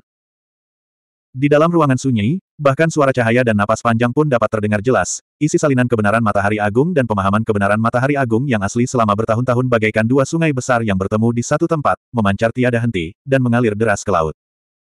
Setelah sekian lama, Zhang Fan perlahan membuka matanya. Matanya bersinar seperti dua lampu terang, menerangi ruangan kosong itu. Wah, ada apa? Cahaya merah menyala, bola naga api sembilan api melayang di atas, dan suara Taoisku terdengar perlahan. Setelah bertahun-tahun, dia tahu apa yang dilakukan Zhang Fan sebelumnya hanyalah untuk menenangkan pikiran-pikiran yang mengganggu di benaknya. Pesta yang sesungguhnya belum tersaji. Ku Taois, kaulah yang paling mengenal diriku. Zhang Fan sudah tenang, dan berkata sambil tersenyum. Wah, jangan menyanjungku. Katakan padaku, apa hal baik yang telah kau temukan? Meskipun pendetaku berbicara dengan nada tidak setuju, orang bisa membayangkan dia membelai jenggotnya dan tersenyum hanya dengan mendengarkan suaranya. Dapat dilihat bahwa pendetaku sangat menikmati pujian ini. Zhang Fan tersenyum. Dia memasukkan tangannya ke dalam tas semesta dan meraba-raba sebentar. Kemudian dia mengeluarkan lampu merah dan menyekannya di depannya. Cahaya pun surut, dan keempat benda bundar itu bergoyang di tanah. Benda-benda itu bulat sempurna, dan seolah-olah akan berguling-guling tanpa henti jika mereka bernapas terlalu keras. Ramuan. Empat ramuan ajaib. Bahkan pendeta tauku tidak menyangka Zhang Fan akan mengeluarkan benda-benda seperti itu. Dia tidak bisa menahan diri untuk tidak melihatnya dengan heran. Keempat pil itu berguling-guling di tanah. Seluruh tubuh mereka bersinar dengan cahaya merah redup, seolah-olah mereka adalah matahari kecil. Yang berbeda dari matahari sungguhan adalah bahwa cahaya merah ini murni dan lembut. Di dalam cahaya yang paling ganas, ada kelembutan seperti air. Apa? Ini. Kali ini, Ku tahu juga menjadi serius. Dengan pengalaman dan penglihatannya, ia segera menemukan masalahnya. Nak, bagaimana kau bisa mendapatkan benda ini? Mengapa benda ini sangat mirip dengan Sun Essence? Tentu saja, tidak seperti itu. Semua ramuan di dunia terlihat sama. Makna yang disampaikan oleh Taoisku sangat jelas. Maksudnya adalah aura dan efek dari ramuan tersebut mirip dengan dua esensi matahari dalam kotak giok matahari merah. Faktanya, perbedaan antara keduanya sangat besar. Dua Sun Essence, dengan batu giok merah sebagai cangkang dan jimat sebagai pakaian, masih dapat memancarkan aura dan kekuatan obat. Jelas bahwa keduanya sangat efektif. Dan sekarang, keempat ramuan yang dikeluarkan Zhang Fan tidak disembunyikan. Namun dalam hal aura, mereka tidak sekuat keduanya. Namun, orang macam apakah ku tahu itu? Dia langsung menunjukkan poin pentingnya. Penatuaku, tidak seperti itu. Itu nyata. Zhang Fan berkata dengan tegas. Kemudian dia menambahkan, tapi itu bukan saripati matahari. Itu pil penelan matahari. Pil penelan sinar matahari. Pendeta tauku mengulanginya dengan heran. Dia mencari ingatannya tetapi tidak dapat mengingat apa itu. Pada saat yang sama, dia merasa tidak percaya bahwa Zhang Fan mengetahui asal-usul benda ini. Sebelum bertemu dengan Kutao, Zhang Fan hanyalah seorang kultivator pendirian yayasan kecil. Setelah itu, mereka berinteraksi satu sama lain siang dan malam. Apa yang diketahui Zhang Fan? Bagaimana mungkin dia tidak tahu? Ya, pil penelan matahari. Ekspresi Zhang Fan tiba-tiba menjadi agak linglung, seolah-olah dia sedang mengenang. Begitu pil masuk ke lambung, rasanya seperti menelan matahari. Namanya adalah pil menelan matahari. Keempat pil penelan matahari berguling di tanah, bergerak maju mundur seolah-olah sedang mengukur apakah tanah itu datar. Dan tatapan Zhang Fan telah melewati keempat pil itu, melampaui batasan waktu dan ruang. Seolah-olah dia telah kembali ke beberapa dekade yang lalu.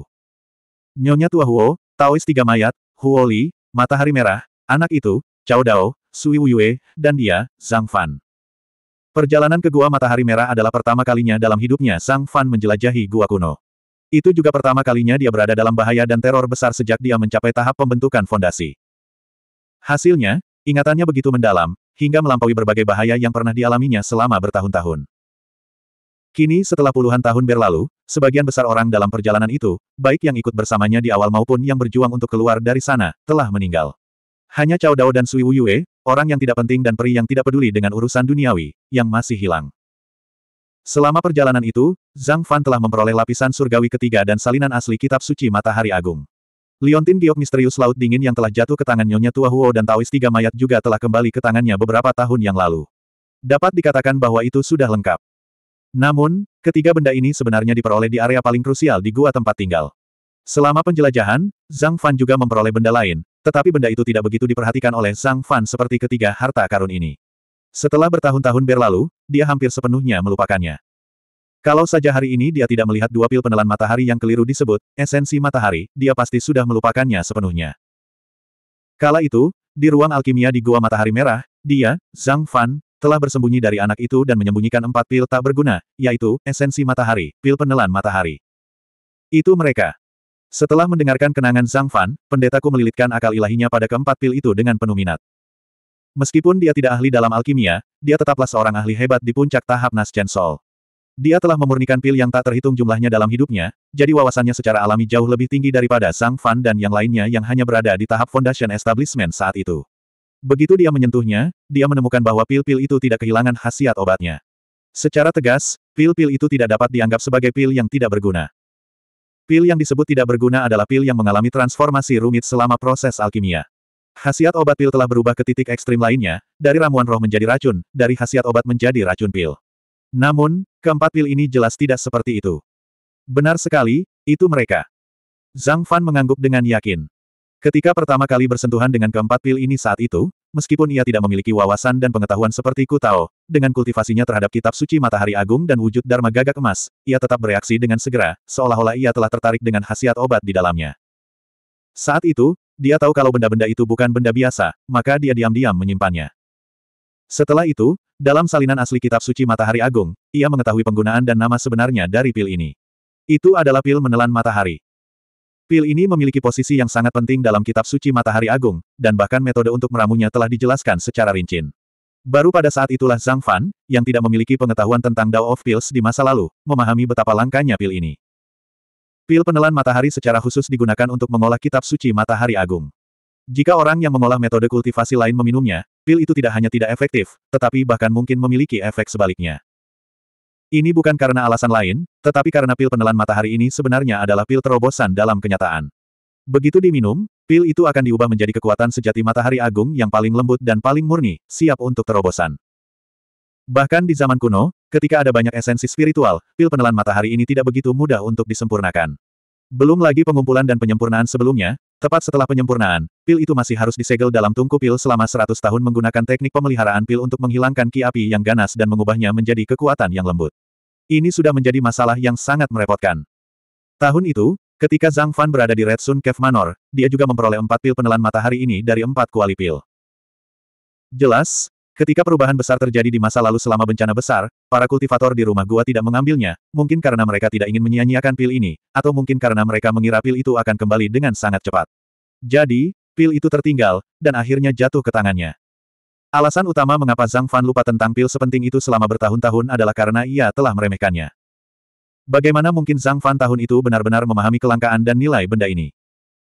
Bahkan sekarang, dia masih ingat bahwa sebelum dia pergi ke pegunungan pilar surga untuk membalas dendam atas Su Hao, ketika dia sedang menyendiri di pasar tepi laut, membuat terobosan terakhir, salah satu pikirannya adalah menggunakan kuali surga bumi sembilan revolusi untuk memurnikan empat pil penelan matahari lagi, memulihkan khasiat obatnya ke puncaknya. Kemudian, setelah memakannya, dia akan segera menerobos ke lingkaran besar pendirian fondasi. Akan tetapi, karena keterbatasan bahan dan memakan waktu lama, dia mengurungkan niatnya karena ingin membalas dendam. Sekarang setelah dipikir-pikir, dia benar-benar tidak naif seperti biasanya saat itu. Bagaimana mungkin pil yang masih sangat dihargai oleh kemampuan ilahi agung kuno, yang dapat bertahan dari kesulitan 100 tahun pemeliharaan pil, benar-benar dapat digunakan untuk terobosan seorang penggarap pendirian yayasan. Jika dia benar-benar memakannya saat itu, hasilnya bisa dibayangkan. Dengan ledakan keras, dia pasti akan meledak menjadi daging cincang di seluruh tanah. Bagaimana dia bisa menikmati kejayaan yang dimilikinya hari ini? Karena dia memandang rendah pil penelan matahari tanpa alasan, selama bertahun-tahun, Zhang Fan tidak pernah mengeluarkannya dari sudut. Menerobos ke alam pendirian fondasi. Pendeta Tauku bertanya dengan tidak percaya. Dia juga melihat dua pil penelan matahari di kotak giok sebelumnya. Menggunakannya untuk menerobos ke alam pendirian yayasan, dia hanya bisa mengatakan bahwa Zhang Fan tahun itu benar-benar terlalu naif. Zhang Fan tersenyum canggung, diam-diam setuju. Huff, nak, pil penelan matahari ini jelas merupakan pil roh yang digunakan untuk menerobos ke alam jiwa baru lahir. Ini adalah jenis pil eksklusif. Kau benar-benar ingin menggunakannya untuk meningkatkan kultivasi alam pembentukan fondasimu. Kau dapat dianggap tak tertandingi, kata Taoisku. Sang pendetaku terdiam. Belum terlambat untuk tahu sekarang. Dengan wawasan Zhang Fan saat ini, tentu saja dia tidak akan salah paham dengan apa yang dikatakan oleh pendeta Tauku. Jika pil penelan matahari ini digunakan untuk membantu kultivasi, pil itu harus digunakan pada saat seseorang menghancurkan inti dirinya dan membentuk jiwa baru lahir. Jika pil itu digunakan pada waktu normal, terlebih lagi jika seseorang tidak memiliki kultivasi alam jiwa baru lahir, mereka tidak akan mampu mengendalikan kekuatan sekuat itu. Fiuh. Menghembuskan napas panjang, Zhang Fan melambaikan tangannya, dan sebuah kuali pil muncul di depannya. Pendeta Tao, Lai Kuan ini telah mengingatkanku. Baik untuk menerobos di masa depan atau mengandalkannya untuk bersaing dengan orang lain, pil penelan matahari ini adalah hal baik yang tidak dapat diabaikan. Suaranya masih bergema. Di ruangan yang sunyi itu, ada semburan cahaya merah, seolah-olah gunung berapi telah meletus. Listrik di ruangan itu terbatas. 667. Langit cerah dan matahari bersinar terang. Pemandangan yang indah. Permukaan danau tenang dan warna hijau seperti giok telah hilang. Sebaliknya, permukaan danau ditutupi oleh cahaya keemasan, seperti permukaan emas yang beriak, sangat indah. Paviliun kecil di tepi danau berdiri megah di atas bebatuan danau. Air danau mengalir melalui celah-celah bebatuan di dasar paviliun. Seperti air terjun yang tak terhitung jumlahnya, memercik dan berderak seperti aliran air yang jernih, membawa panas yang tak ada habisnya. Keempat sisi paviliun ditutupi dengan tirai ungu. Saat angin bertiup, tirai berkibar lembut, memperlihatkan orang-orang yang minum teh dan mengobrol di tengah pemandangan hutan. Bagus, Xiao Olong, baru setahun lebih sedikit dan kau sudah mencapai tingkat ke-10 pemurnian. Kau jauh lebih kuat dari gurumu saat itu. Xiang Ming menepuk bahu Xiao Long dan berkata sambil tertawa. Semua ini berkat ajaran guru, leluhur tua, dan paman guru. Meskipun Xiao Long sederhana, bukan berarti dia bodoh. Tentu saja, dia tidak berani menjawab. Dia segera mengucapkan terima kasih dan mengganti topik pembicaraan. Anak baik, kau sama liciknya dengan tuanmu waktu itu. Siang Ming melihat dia tidak menjawab sama sekali dan tidak dapat menahan tawa dan memarahinya. Hehe. Xiaolong menggaruk kepalanya dan tertawa bodoh. Ini adalah kebiasaan buruknya. Selama seseorang memuji dia dan gurunya, anak ini pasti akan memiliki ekspresi seperti ini. Pada saat ini, dia tidak lupa melirik sekilas ke sosok yang tergeletak di sampingnya. Melihat tidak ada reaksi, dia tidak bisa menahan diri untuk tidak menunjukkan ekspresi kecewa. Saat itu tengah hari, saat matahari sedang terik-teriknya. Namun, paviliun kecil di tepi danau tempat semua orang duduk terasa sangat sejuk. Meskipun ada air terjun mata air yang mengalir untuk mengusir panas, ada danau yang terisi uap air yang memantulkan air dingin, dan ada tirai untuk menghalangi panas, tetapi panasnya tidak terbatas pada itu. Selama seseorang memandang paviliun itu, mereka akan dapat melihat alasannya. Di paviliun kecil ini, sebagian besar udaranya sedingin di bawah pohon berusia ratusan tahun. Hanya ada satu tempat yang mataharinya bersinar terang dan menyilaukan, seolah-olah semua sinar matahari yang dengan keras kepala menembus paviliun itu diserap ke tempat itu. Di tempat itu, ada sosok yang sedang berbaring. Melihat sikap santai itu, rasanya seperti malam musim panas, menikmati cahaya bulan yang sejuk dari pohon tua di bawah angin malam. Namun kenyataannya, hanya dengan melihat titik-titik cahaya terang di sekitar sosok tersebut dan lekuk tubuhnya yang kemasan, orang akan tahu bahwa ia tidak hanya tidak menikmati udara sejuk, tetapi ia juga sedang berjemur di bawah sinar matahari. Bahkan sinar matahari di seluruh paviliun tanpa sadar tertarik ke tubuhnya, yang menyebabkan sekelilingnya menjadi anehnya sejuk. Tak perlu dikatakan lagi, orang ini tentu saja adalah Zhang Fan. Semua orang di paviliun, termasuk Zhang Yuantu, Xiang Ming, dan Xiao Long, sudah terbiasa dengan pemandangan ini. Selama kurang lebih setahun terakhir, Zhang Fan menghabiskan sebagian besar waktunya berjemur di bawah sinar matahari dan mengobrol dengan orang banyak, selain memurnikan pil setiap beberapa bulan sekali. Tentu saja, sebagian besar waktu, guru tua dan Siang Ming berusaha keras untuk mengajar Xiao Long.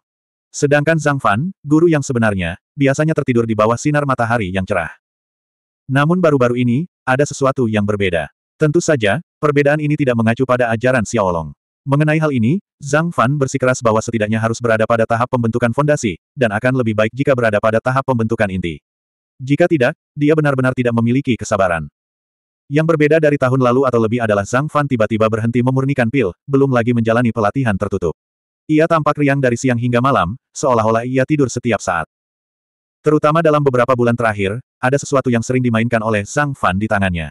Awalnya, benda itu menarik perhatian semua orang, tetapi kemudian, mereka tidak dapat melihat sesuatu yang istimewa dari benda itu, jadi mereka terbiasa dengannya dan tidak lagi memperhatikannya. Benda ini berwarna merah terang, seperti matahari merah kecil. Saat ini, Benda itu dipegang di tangan Zhang Fan, terus berputar di antara jari-jarinya. Cahaya yang tidak dapat dilihat oleh mata telanjang terus mengalir dari tubuhnya ke matahari merah, dan kemudian kembali ke tubuhnya melalui saluran yang tak terlihat. Seluruh proses itu berulang, seolah-olah sedang memelihara sesuatu. Yang tidak diketahui lelaki tua itu adalah bahwa Zhang Fan tidak sesantai yang terlihat. Guruku, kapankah teknik pemeliharaan dan ini akan berakhir? Pikiran telepati Zhang Fan terdengar seperti erangan. Huff, kau tidak tahan lagi. Guruku menggoda. Setelah terdiam cukup lama, dia berkata dengan santai, hampir. Setidaknya dengan keseimbangan wujud Dharma gagak emasmu, aku tidak akan mati karena memakannya. Begitu suara masterku masuk ke telinganya, matahari merah yang terus berputar di tangan Sang Fan tiba-tiba mengembun di telapak tangannya. Seperti permukaan air yang bergerak yang tiba-tiba berhenti dan membentuk pusaran air karena inersia, cahaya kabur muncul di matahari merah. Melihatnya, orang tidak dapat melihat dasarnya. Seolah-olah lapisan tipis cahaya merah itu terkondensasi dari ruang yang tak terhitung jumlahnya, dan orang tidak dapat melihat penampilan aslinya tanpa penglihatan yang ekstrim. Besar. Zhang Fan menggenggam erat matahari merah di tangannya dan menghela napas panjang. Matahari merah ini tak lain adalah pil penelan matahari yang telah disempurnakannya sebanyak empat kali, meminjam kekuatan kuali alam semesta sembilan revolusi, dan menambahkan berbagai jenis bahan. Tepatnya, itu adalah pil penelan matahari minor. Dalam hal efektivitas, pil pemakan matahari ini berkali-kali lebih efektif daripada dua pil yang disembunyikan Siti Garba di kotak giok di Pulau Sinar Matahari. Bahkan dua pil yang digabungkan tidak dapat dibandingkan dengan pil ini. Inilah efek magis dari kuali alam semesta sembilan revolusi. Namun, ada satu hal yang tidak dapat dibandingkan dengannya, yaitu kelembutan dan kemurniannya. Ini tidak terbayangkan. Bagaimanapun, ia harus membuka kembali kuali dan udara panas tidak dapat dikeluarkan. Namun, jika ia harus menggunakan metode lama dari zaman kuno, pil pengumpul 100 tahun, Zhang Fan tidak dapat menunggu lebih lama lagi. Untungnya, memiliki seorang lelaki tua di rumah bagaikan memiliki harta karun. Di saat kritis, masterku memberikan sebuah metode. Tak lain dan tak bukan adalah teknik pemeliharaan pil yang telah menyebabkan Zhang Fan mengeluhkannya. Teknik pemeliharaan pil ini sedikit mirip dengan pemurnian hati keahlian. Dengan identitas orang yang memurnikan pil, sebelum pil keluar dari kuali, ia akan menambahkan darahnya sendiri ke dalamnya. Kemudian, setelah pil keluar dari kuali, ia akan memegangnya di tangannya siang dan malam, terus-menerus berkomunikasi dengannya melalui pikirannya. Pada akhirnya, ia akan menggunakan darahnya sendiri untuk menghilangkan panas dalam pil. Bukannya metode ini tidak ada di zaman kuno, tetapi mereka tidak memurnikan pil hanya untuk diri mereka sendiri. Selain itu, bagi sebuah sekte, pil pengumpul 100 tahun bukanlah apa-apa. Bagaimanapun, akan ada pil baru yang keluar dari kuali setiap tahun. Namun, bagi Zhang Fan, yang awalnya ingin menggunakannya untuk dirinya sendiri, metode ini sangatlah baik. Meskipun belum sepenuhnya menguasainya, menurut apa yang dikatakan masterku, Zhang Fan, yang memiliki Golden Crow di tubuhnya, sudah mampu menahannya. Itu sudah cukup, dan dia tidak perlu mencari kesempurnaan. Alasan mengapa dia harus menghabiskan begitu banyak upaya pada pil penelan matahari adalah karena dia mungkin membutuhkan bantuannya dalam perjalanannya ke alam langit berbintang dalam waktu dekat. Kedua, dia tidak tahu berapa banyak pil penelan matahari yang dia perlukan untuk menerobos ke tahap jiwa baru lahir di masa depan. Tentu saja, dia harus membiasakan diri dengannya sebanyak mungkin. Tentu saja, dia pasti tidak akan memurnikan pil yang sangat mahal itu sekarang. Kalau tidak, hanya mengumpulkan ramuannya saja sudah cukup untuk membuatnya tidak bisa berbuat apa-apa. Untuk memurnikan pil bermutu tinggi seperti itu, tentu saja dia harus menunggu hingga dia kembali ke sekte karakteristik Dharma. Kemudian, dia dapat menggunakan sekte ini, yang masih dianggap sebagai sekte terbaik di benua sembilan provinsi, untuk mengumpulkan obat-obatan spiritual. Ditambah dengan koneksi pavilion harta karun berlimpah dan langit anggrek surgawi, itu akan lebih dari seratus kali lebih mudah daripada sekarang. Di jalur kultivasi, meskipun seseorang tidak dapat menghindari bahaya, dengan sengaja mencari masalah sama saja dengan menyiksa diri sendiri. Setelah selesai, Zhang Fan segera mengeluarkan kotak giok dan menyimpan pil penelan matahari kecil di dalamnya. Dia menyegelnya dengan jimat. Setelah melakukan semua ini, dia menghela napas panjang. Coba pikirkan, selama beberapa bulan, ia berkomunikasi dengan pil yang tidak bisa bicara dan tidak merespons. Tidak ada bedanya dengan berbicara dengan tembok. Kejahatan itu sungguh tidak mudah untuk ditanggung. Setelah hujan reda, langit kembali cerah. Zhang Fan segera bangun, tepat pada saat lelaki tua itu mulai bercerita tentang masa lalu karena kebiasaannya. Apa yang bisa dibicarakan oleh lelaki tua itu? Pada akhirnya, yang dibicarakannya hanyalah kehebatan ayahnya, Zhang Lai, dan keberanian Zhang Fan di masa mudanya. Namun, ada pasar untuk apa yang dikatakannya, dan ada orang yang bersedia mendengarkan. Tentu saja, orang ini tidak mungkin Xiang Ming. Setiap kali hal ini terjadi, Xiang Ming akan mengeluarkan pancingnya untuk memancing. Jauh dari pandangan, jauh dari pikiran. Selain Xiao Long, siapa lagi yang menjadi penontonnya? Namun, hasil kali ini sedikit berbeda. Leluhur tua, apakah guru benar-benar membunuh begitu banyak orang? Xiaolong bertanya dengan hati-hati. Ya, ada apa? Orang tua itu bertanya dengan rasa ingin tahu. Biasanya, saat si kecil mendengarkan cerita, dia tidak akan pernah menyela. Oh, kalau begitu Xiaolong tidak mungkin seperti guru. Xiaolong berkata dengan kesal. Baik lelaki tua itu maupun dirinya, tak satu pun menyadari bahwa Zhang Fan telah terbangun dan mendengarkan pembicaraan mereka dengan penuh minat. Saya tidak ingin membunuh orang. Xiaolong menggelengkan kepalanya. Ia merasa kesal. Menurutnya, jika ia tidak bisa melakukan hal yang sama seperti gurunya, ia pasti akan gagal. Bagaimana mungkin kamu tidak membunuh orang ketika berkecimpung di dunia kultivasi? Lelaki tua itu berkata tanpa berkata apa-apa. Namun, tidak mudah baginya untuk mengatakan alasannya. Setidaknya, dia telah bersikap baik kepada orang lain sepanjang hidupnya dan tidak pernah membunuh siapa pun. Tetapi, Xiaolong baru saja mengucapkan kalimat itu ketika dia mendengar suara yang jelas. Jika kamu tidak membunuh orang, maka jangan bunuh orang. Apa masalahnya? Saat menoleh ke belakang, dia melihat Zhang Fan berdiri dan berdiri di sampingnya. Aku, murid Zhang Fan, bertindak sesuai dengan emosimu dan melakukan apa yang kau inginkan. Membunuh atau tidak, itu semua terserah padamu. Buat apa repot-repot? Apa pun pilihanmu, dengan guru di belakangmu, siapa yang berani menolak? Nada bicara Zhang Fan sangat tenang, tetapi kesombongan dalam suaranya yang mengabaikan segalanya terungkap dengan jelas. Di dunia kultivasi, orang yang murni dan baik hati seperti Xiaolong, belum lagi apakah dia bisa bertahan hidup, setidaknya dia pasti akan ditertawakan. Namun, jika dia disandingkan dengan seorang master tahap Yuan Ying, siapa yang berani menolak?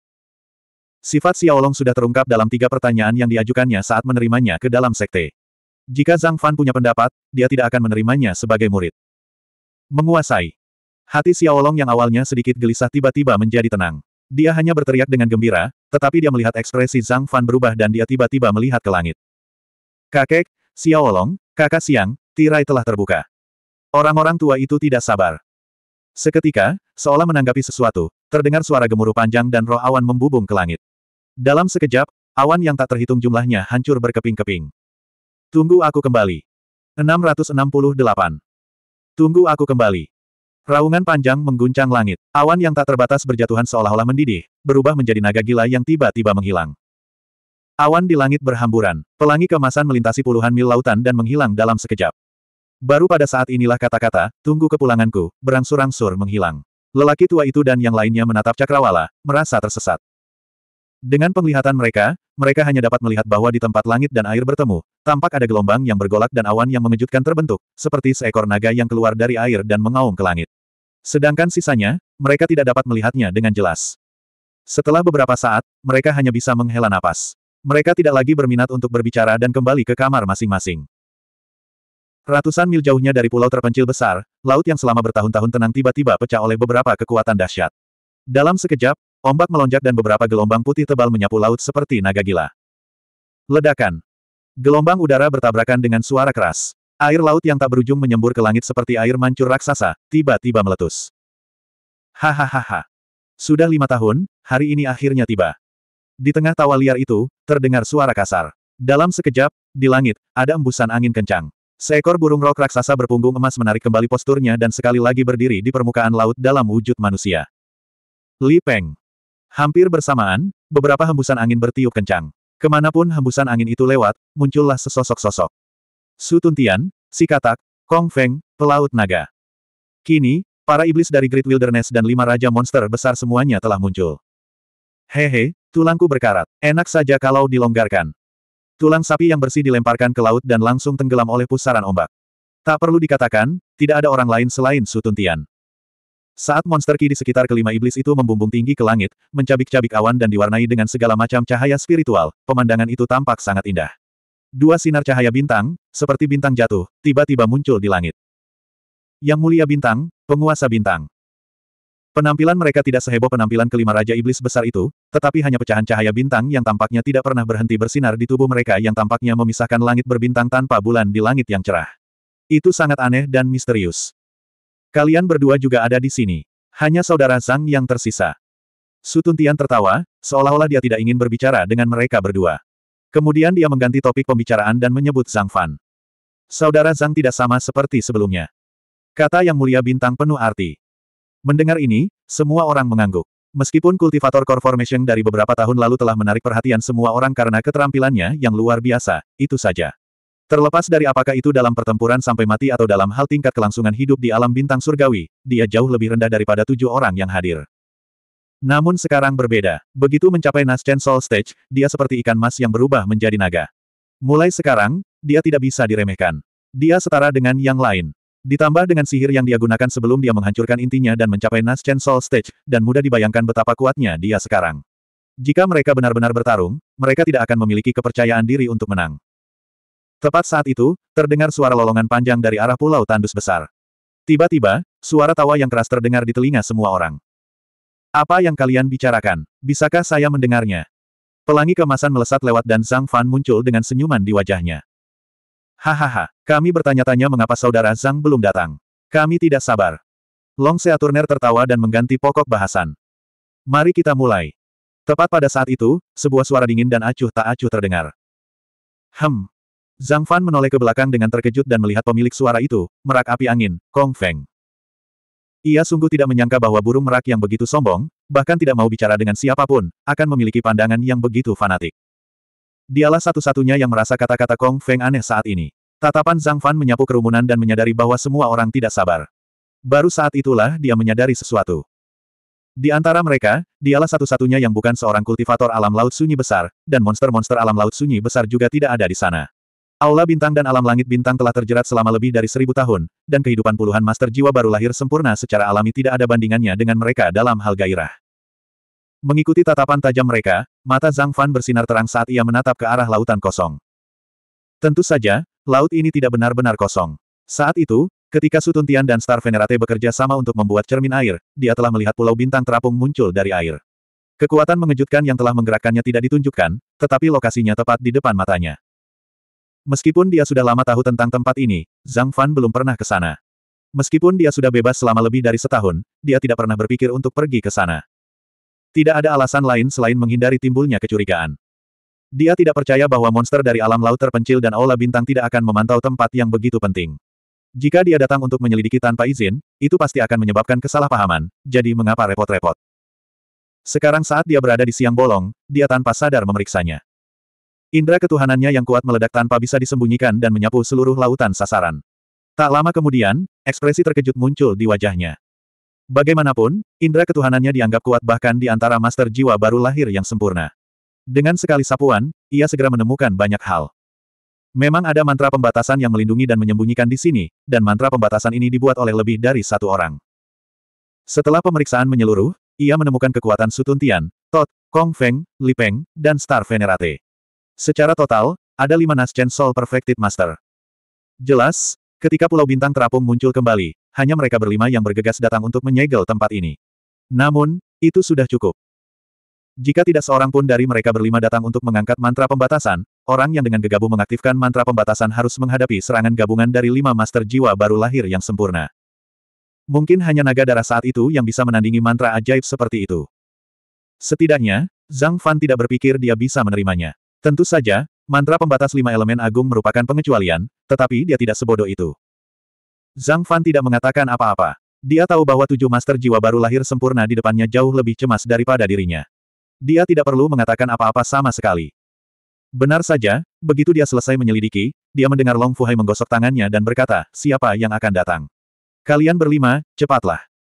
Kelima yang disebutkan Long Fuhai tentu saja adalah lima master jiwa baru lahir sempurna yang telah menyegel tempat ini saat itu. Meskipun yang lain mungkin bisa mematahkan mantra pembatas, itu terlalu merepotkan. Orang yang memulai masalah harus dilepaskan. Selama salah satu dari mereka berlima bertindak, itu akan jauh lebih mudah. Semua orang mengerti hal ini. Tidak perlu mengatakan lebih banyak lagi. Sang pemuja bintang hanya mengangguk pada Sutuntian dengan acuh tak acuh dan berkata, kalian semua ikut. Baiklah, kalau begitu terserah aku. Sutuntian tertawa dan tidak menolak. Ia mengulurkan tangan untuk menyeka minyak di wajahnya dan menarik napas dalam-dalam. Fiuh, fiuh.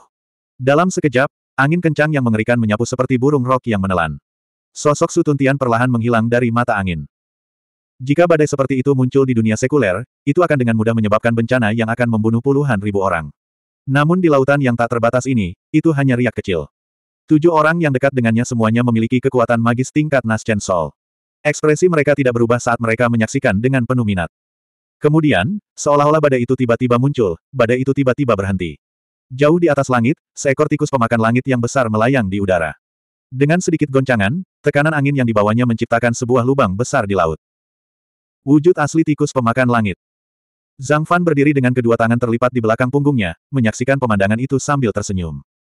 Su Tuntian, yang telah menampakkan wujud aslinya, tidak menggunakan kekuatan sihir khusus untuk melahap.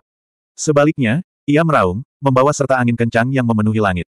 Ia tiba-tiba menerjang ke depan dan menghantam kehampaan, menciptakan lapisan riak. Hah! Kali ini, bukan hanya Zhang Fan, tetapi semua master jiwa baru lahir yang hadir mengerutkan kening. Mungkinkah solusi yang disebut Su Tuntian adalah menabraknya dengan sangat ganas? Namun apa yang terjadi selanjutnya membuat ekspresi semua orang berubah drastis. Pandangan mereka pada wujud asli tikus pemakan langit yang besar di langit menjadi semakin serius. Robek. Suara robekan sutra yang menggetarkan bumi bergema di laut saat wujud asli tikus pemakan langit menerkam. Mulut tikus besar itu terbuka lebar, dan taringnya yang tajam mencabik-cabik kehampaan. Setiap kali ia menoleh, energi spiritual yang tak terbatas melonjak. Rasanya seperti seorang master menyerang satu demi satu. Dari waktu ke waktu, akan ada gemuruh di permukaan laut sejauh puluhan mil, dan kemudian kolom air yang besar akan naik ke langit. Dalam radius ratusan kaki di sekitar kolom air, semua monster dan binatang laut tidak dapat lolos dari kematian. Pada frekuensi tertinggi, puluhan kolom air naik ke langit pada saat yang sama. Itu seperti formasi yang rapat, mengelilingi bentuk asli tikus pemakan langit di bagian tengah. Luar biasa. Cahaya merah menyala di sekujur tubuh Sang Fan. Begitu air yang terciprat oleh kolom air mendekatinya, air itu berubah menjadi kabut dan menghilang. Namun perhatiannya sama sekali tidak tertuju pada hal itu. Tikus besar dengan segala macam cahaya spiritual menjadi fokus perhatiannya. Pada saat ini, semua orang mengerti bahwa Sutuntian tidak hanya menabraknya. Itu jelas merupakan langkah yang sangat cerdik. Setiap kali dia merobek dan bergerak, dia menggunakan Divine Ability Restriction yang telah dia tanam dalam dirinya sendiri bertahun-tahun yang lalu. Mencabut sehelai rambut akan memengaruhi seluruh tubuh. Dia menggunakan restriction miliknya sendiri untuk memengaruhi empat mantra pembatas lainnya, menyebabkan kekuatannya menyebar ke segala arah. Ini sama saja dengan memotong daging dengan pisau tumpul. Begitu keempat kekuatan lainnya dikonsumsi sampai batas tertentu, dia akan tiba-tiba mengerahkan kekuatannya dan mampu mematahkan batasan yang telah ditetapkan oleh lima kultivator tahap jiwa baru lahir. Tidak ada keraguan tentang hal ini. Ini hanya masalah waktu. Zhang Fan dan yang lainnya tidak meragukan bahwa Su Tuntian tidak dapat melakukannya. Mereka hanya tidak menyangka bahwa dia akan menggunakan metode yang tampaknya kasar tetapi sangat cerdik. Su Tuntian tidak membiarkan semua orang menunggu terlalu lama. Dalam sekejap, mereka melihat wujud asli tikus pemakan langit tiba-tiba membesar. Sambil meraung, ia mengayunkan kepalanya dengan keras. Ledakan. Kali ini, seolah-olah tirai besar telah disingkirkan. Langit dipenuhi cahaya bintang, mewarnai puluhan mil lautan di sekitarnya. Pulau Bintang terapung. 669. Gemuruh. Saat Sutuntian merobek tirai dan cahaya bintang memercik di langit, tiba-tiba terdengar suara gemuruh yang menggetarkan bumi, seakan-akan ribuan gemuruh guntur terjadi pada saat yang bersamaan. Ketika menoleh ke belakang, ia melihat bahwa di tempat sinar terakhir cahaya spiritual mendarat, laut langsung kosong. Seolah-olah ada kekuatan tak terbatas yang menyerbu dan menempati seluruh ruang. Air laut yang tak terbatas dipaksa keluar dan ditekan ke langit. Dalam sekejap, Air laut membentuk dinding air raksasa yang panjangnya lebih dari satu mil dan tingginya menjulang di antara langit dan bumi. Kekuasaannya yang mengagumkan mampu mengubah langit dan bumi, sampai sejauh ini. Di tengah ombak yang dahsyat, di bawah cahaya bintang yang menyilaukan, Su Tuntian kembali ke wujud manusianya. Dengan sekejap, ia kembali ke sisi kelompok itu, tidak lupa meregangkan tubuhnya dengan malas. Bagus. Semua orang memuji. Gerakan Su Tuntian sangat rapi dan teratur, memperlihatkan kemahiran iblis besar dalam wujud manusia. Pada saat ini, wajah semua orang, punggung tangan mereka, dan seluruh kulit mereka yang terbuka semuanya bersinar terang dengan cahaya bintang, seolah-olah tidak ada yang lain di dunia ini kecuali itu. Sumber cahaya bintang itu tiba-tiba muncul di depan semua orang. Di tempat Sutuntian telah menghancurkan batasan itu, sebuah pulau yang diselimuti cahaya bintang dan kabut samar mulai terlihat. Pulau itu tampak ditutupi oleh lapisan langit berbintang yang berdiri sendiri, yang mana bintang-bintang berotasi secara berurutan, seperti langit malam biasa. Formasi langit berbintang Formasi inilah yang memaksa siapa pun yang ingin memasuki Pulau Bintang Terapung untuk membawa emas langit berbintang, dan membuat Sutuntian dan yang lainnya semakin berhati-hati. Dari persiapan awal hingga waktu kedatangan mereka, mereka semua telah datang dengan persiapan yang matang. Sambil menatap mantra pembatasan langit berbintang, dia melihat bahwa bintang-bintang dalam mantra pembatasan langit berbintang tidak diam. Sebaliknya, mereka berputar dengan kecepatan tinggi, saling tarik-menarik, saling memusnahkan, dan melahirkan yang lain. Seolah-olah kehidupan dan kematian seluruh alam semesta telah dipadatkan menjadi mantra pembatasan kecil ini. Jika aku bisa memahami formasi ini, itu akan lebih baik daripada kekuatan sihir atau harta rahasia apa pun. Saat Zhang Fan berkonsentrasi pada penyelidikannya, seseorang di sampingnya mengatakan hal yang sama. Hem. Zhang Fan menoleh ke belakang. Ketika dia melihat orang yang berbicara, dia tidak dapat menahan diri untuk tidak mengangkat alisnya. Dia tersenyum dan berkata, saya juga berpikir begitu. Saya tidak menyangka Anda akan menjadi orang kepercayaan saya, Tuan Tai Bai Jinsing. Orang yang berbicara tadi adalah penguasa bintang yang tidak mengucapkan sepatah kata pun sejak dia tiba. Keduanya saling tersenyum dan tidak mengatakan apa-apa lagi. Pada saat ini, semua orang telah terbangun dari keindahan langit berbintang. Ayo, hari ini, aku, naga tua, akan mengorbankan diriku dan membiarkanmu memanfaatkanku. Long Sitapel berbicara tentang pengorbanan, tetapi dari nadanya, jelas bahwa dia marah. Meskipun dia berkata demikian, antusiasmenya sendiri tidak kalah dengan yang lain. Tiba-tiba dia mengeluarkan raungan naga, dan dalam sekejap, cahaya ungu tersebar di mana-mana, samar-samar bersaing dengan kecemerlangan bintang-bintang. Awan berkumpul, dan dalam sekejap, seekor naga banjir yang tampaknya diukir dari batu giok ungu muncul di depan semua orang. Itu adalah tubuh sejati naga banjir giok ungu. Mengaum. Saat naga itu meraung, naga sitapel meregangkan tubuhnya, dan dengan setiap gerakan yang dilakukannya, laut di bawahnya berubah menjadi pusaran air, gelombang, gelombang pasang, dan arus bawah. Seolah-olah dia telah menjadi satu dengan laut. Ini adalah kemampuan bawaan ras naga banjir, kebanggaan lautan. Ayo pergi. Cahaya yang mengalir menari-nari, dan dalam sekejap mata, tujuh sosok berdiri di belakang naga banjir giok ungu. Alam langit berbintang, naga tua ini datang. Menghadapi pulau bintang terapung, naga sitapel tampak sangat bersemangat. Sambil meraung, dia meregangkan tubuhnya, dan dengan gelombang udara yang kuat, tiba-tiba melesat maju. Su Tuntian dan yang lainnya tidak perlu mengingatkannya. Begitu dia berdiri di punggung naga itu, Zhang Fan menyeka tas kosmosnya dengan telapak tangannya. Ketika tas itu muncul kembali, sepotong logam yang tampak seperti bintang-bintang di langit telah jatuh ke dunia manusia diam-diam tergeletak di telapak tangannya. Bintang emas. Dulu, untuk benda kecil ini, pada akhirnya, seorang ahli top seperti Blood Dragon Wu Wang telah ditarik keluar, dan mereka telah bertarung dengan sengit. Seven Star Envoice dan yang lainnya hampir mati di Pulau Serpentin. Bahkan delapan orang di depan mereka tidak keluar tanpa cedera. Zhang Fan menatap bintang emas yang tergeletak di tangannya dengan tenang. Saat ia mengingat apa yang terjadi saat itu, jantungnya berdebar kencang. Kemudian, dalam waktu kurang dari seperseribu detik, ketenangan di tangannya tiba-tiba berubah di bawah pengaruh cahaya bintang di sekitarnya. Suara mendesing. Bahkan dengan penglihatan Zhang Fan, dia hanya bisa melihat sekilas bayangan cahaya bintang. Kemudian, dia merasakan tangannya menjadi lebih ringan, dan bintang emas tiba-tiba melayang tinggi di atas kepalanya. Dalam sekejap, cahaya bintang berkumpul dari segala arah, dan dengan bintang emas sebagai pusatnya, perisai cahaya bintang segera terbentuk di sekelilingnya, mengelilinginya di tengah. Hem, jadi begitulah adanya. Zhang Fan tertegun sejenak, tetapi segera mengerti. Oleh karena itu, apa yang disebut sebagai bintang emas tanpa bintang tidak dapat memasuki pulau bintang terapung. Berdasarkan situasi saat ini, selama bintang emas muncul di dekat pulau bintang terapung, ia akan tertarik oleh cahaya bintang di sekitarnya dan membentuk perisai untuk melindungi orang yang memegang bintang emas. Jika memang begitu, mengapa Sutuntian dan yang lainnya begitu gugup? Zhang Fan sedikit mengernyit. Su Tuntian dan yang lainnya telah menyiapkan formasi sepuluh naga untuk melawan master jiwa baru lahir yang sempurna dari Kepulauan Naga Ilahi. Mereka juga memilih untuk memasuki pulau itu di bawah pengaruh pasang surut, ketika pembatasan langit bintang berada pada titik terlemahnya.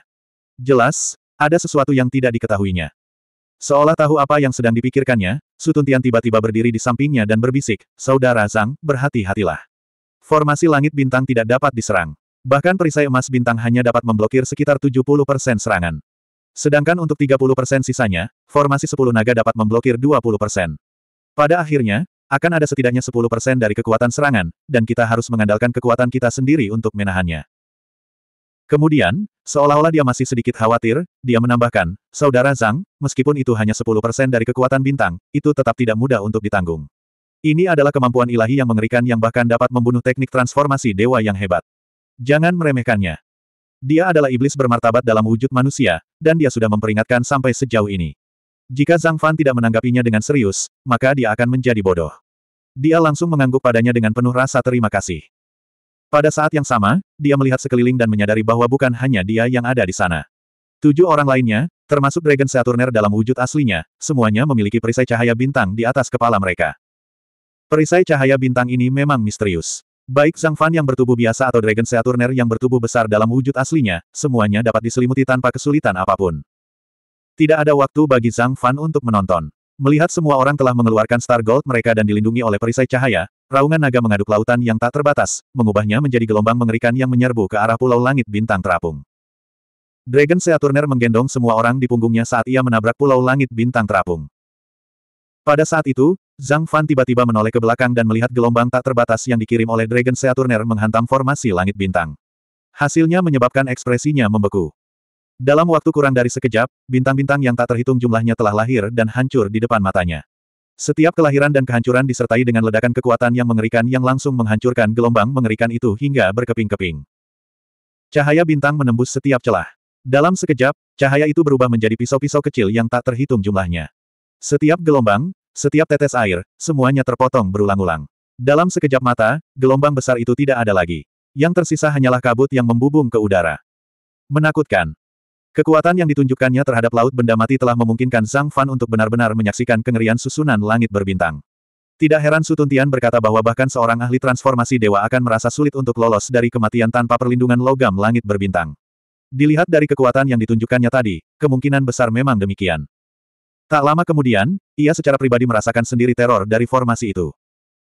Ledakan. Naga banjir terjun ke dalam laut. Dragon Saturner menerkam dengan kekuatan tak terbatas. Dengan bantuan laut, ia menukik dalam-dalam ke dalam formasi. Setelah aksinya, seluruh Starry Sky Array tampak mendidih. Sinar cahaya bintang yang tak terhitung jumlahnya melesat keluar seperti jutaan anak panah. Tiba-tiba, perisai cahaya bintang yang dibentuk oleh Starlight Gold di tubuh semua orang tiba-tiba mengembang, menghalangi kekuatan dahsyat yang tampaknya menjadi musuh seluruh dunia. Pupil mata Zhang Fan mengerut. Tanpa sadar, dia membelai mahkota di atas kepalanya dengan satu tangan dan membalik lonceng Dong Huang dengan tangan lainnya. Dalam sekejap, dia telah membuat semua persiapan. Seperti yang dikatakan Su Tuntian, penghalang cahaya bintang hanya dapat memblokir sekitar 70% serangan cahaya bintang. 30% sisanya tampaknya sama sekali tidak terpengaruh oleh penghalang itu karena penghalang itu menutupi langit dan menutupi bumi. Itu ujian pertama. Zhang Fan segera mengerti. Emas bintang ditujukan bagi mereka yang memenuhi syarat untuk masuk, dan tidak sembarang orang bisa menerobos masuk. Namun, bahkan mereka yang memiliki emas bintang harus menunjukkan kekuatan yang cukup. Jika tidak, mereka tidak akan dapat memasuki alam langit bintang. Bahkan, mereka tidak akan dapat menginjakan kaki di pulau bintang terapung sebelum mati karena cahaya bintang yang tak terbatas.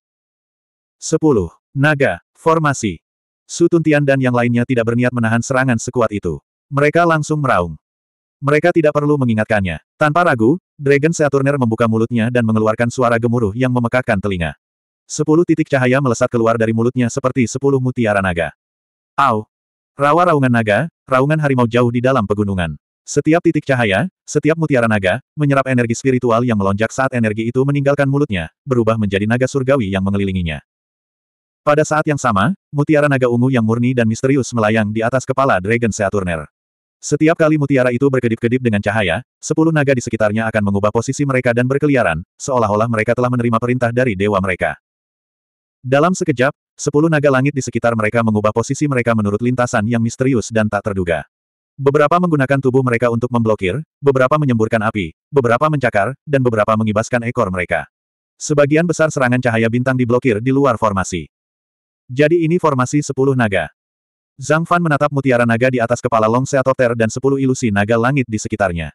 Ia memfokuskan perhatiannya sejenak, lalu menarik napas dalam-dalam dan memfokuskan perhatiannya pada cahaya bintang yang telah menyelinap melalui jaring. Ujiannya sudah tiba. 670. Cahaya bintang itu kabur, berfluktuasi antara kenyataan dan ilusi. Rasanya seperti menatap langit berbintang di malam musim panas, tidak berbahaya dan indah. Akan tetapi, selama seseorang melihat keluar, ilusi sepuluh naga, yang telah hancur dan terbentuk kembali berkali-kali dalam sekejap, akan langsung runtuh, digantikan oleh rasa takut tak terbatas. Kuat. Tentu saja, formasi sepuluh naga seharusnya digunakan untuk mencekik musuh di inti formasi, bukan untuk memblokir serangan eksternal. Namun, itu sudah cukup untuk menunjukkan bahwa kekuatan formasi langit berbintang tidak kalah dengan kekuatan formasi pelindung sekte-sekte teratas di sembilan negara. Bahkan jika itu hanya 10% dari kekuatannya, itu tidak bisa dianggap enteng. Sambil menarik napas dalam-dalam, Zhang Fan menyentuh mahkota di kepalanya. Tiba-tiba, matahari merah muncul dari air, memancarkan cahaya bintang yang menyilaukan. Ledakan. Sinar matahari dan cahaya bintang saling terkait dan musnah. Daerah puluhan kaki di sekitar tempat Zhang Fan berdiri seperti bola cahaya besar. Sinar cahaya yang tak terhitung jumlahnya, yang tampaknya memiliki substansi, bergerak maju mundur. Kadang-kadang, cahaya itu meledak, seperti bima sakti yang tergantung terbalik.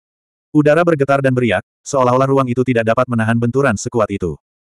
Zhang Fan bukan satu-satunya yang menanggapi. Hampir pada saat yang sama, tujuh orang lain di sekitarnya masing-masing menggunakan cara mereka sendiri untuk bersaing dengan cahaya bintang di langit. Di antara mereka, Su Tuntian dan yang lainnya memiliki respons yang paling sederhana.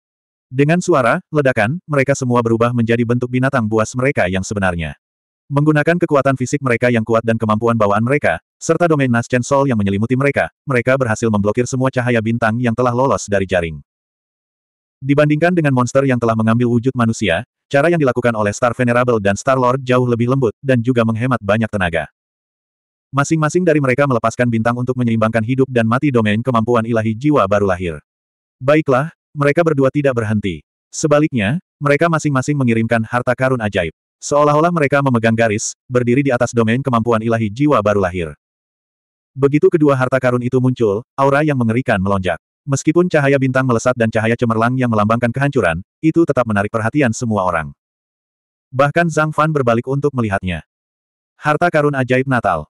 Semua orang segera merasakan kekuatan dan aura dari dua harta karun ajaib itu. Itu jelas merupakan harta karun ajaib kelahiran yang dibuat oleh dua master jiwa baru lahir yang berspesialisasi dalam jalan bintang. Harta karun ajaib kelahiran sang bintang mulia adalah segel ungu emas yang besar. Segel itu tersebar di mana-mana, dan di bawahnya terdapat pola bintang biduk yang mengeras. Seolah-olah sudut langit berbintang telah digali dan dipadatkan menjadi segel ungu emas yang agung ini. Harta karun kehidupan Star-Lord jauh lebih terkendali daripada milik sesama anggota sekte. Itu adalah astrolab biasa yang sama sekali tidak tampak aneh. Itu benar-benar gelap, dan hanya ketika melepaskan kekuatannya, ia akan mengungkapkan tanda langit berbintang yang tampak seperti segel ungu emas. Dengan dukungan dua harta sihir yang terikat kehidupan ini, domain Naschen Sol mereka mampu menahan semua serangan cahaya bintang dengan sempurna.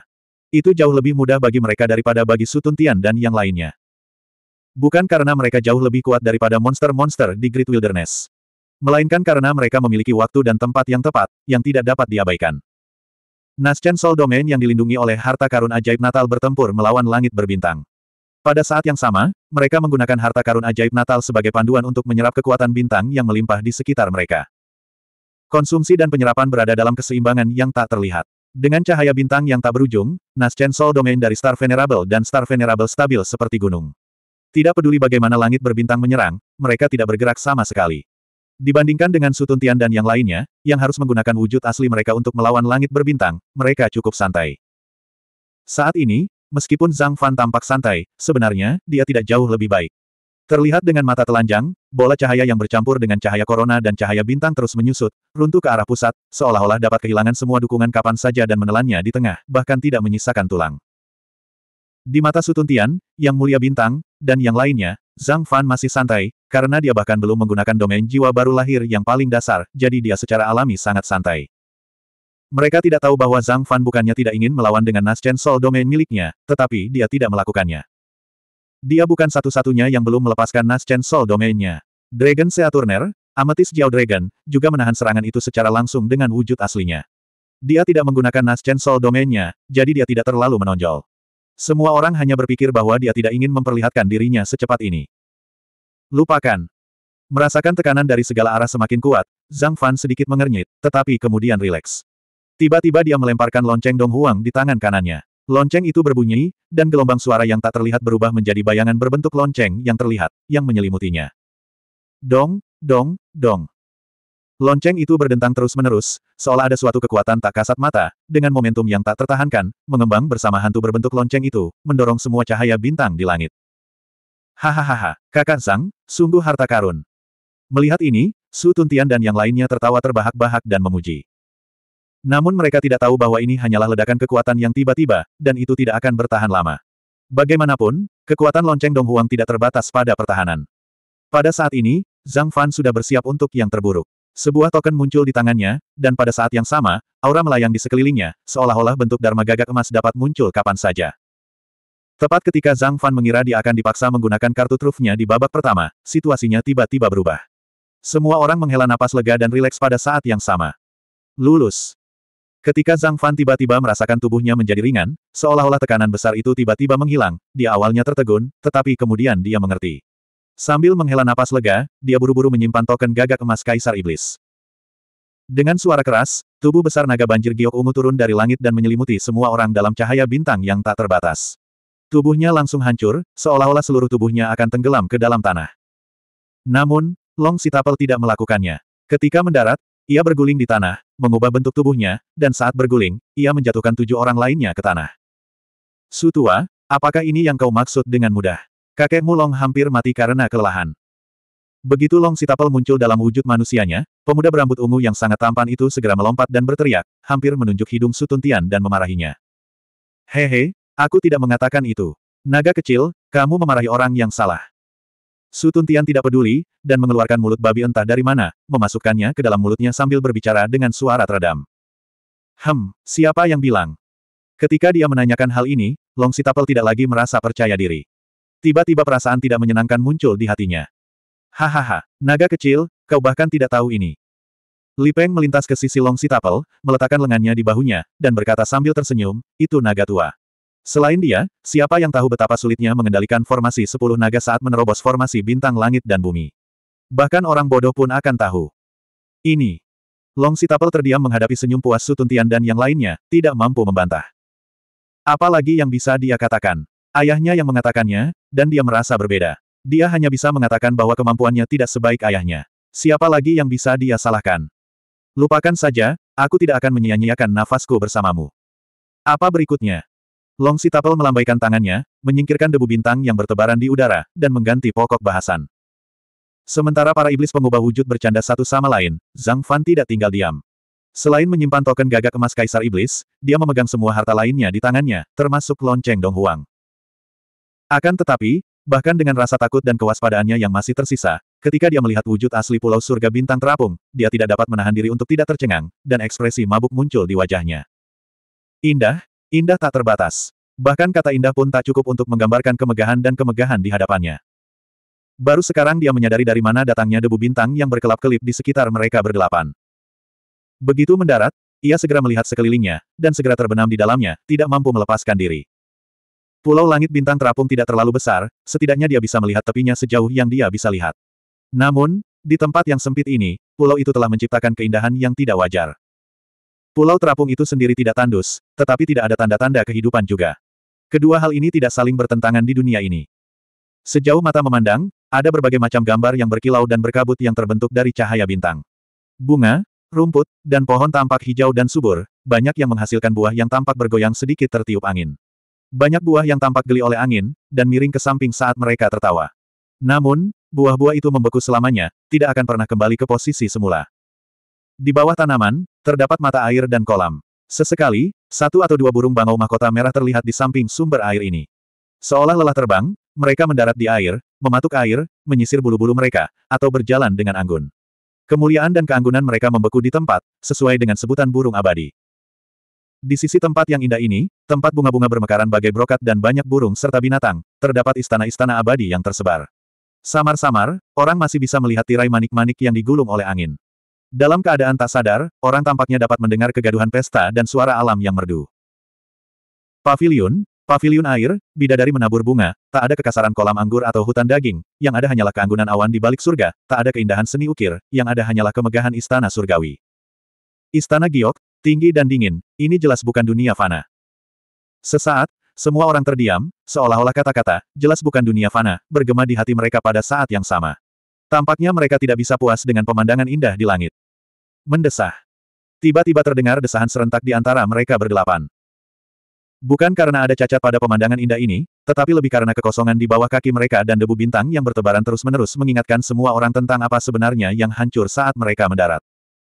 Penyesalan itu tak dapat disembunyikan.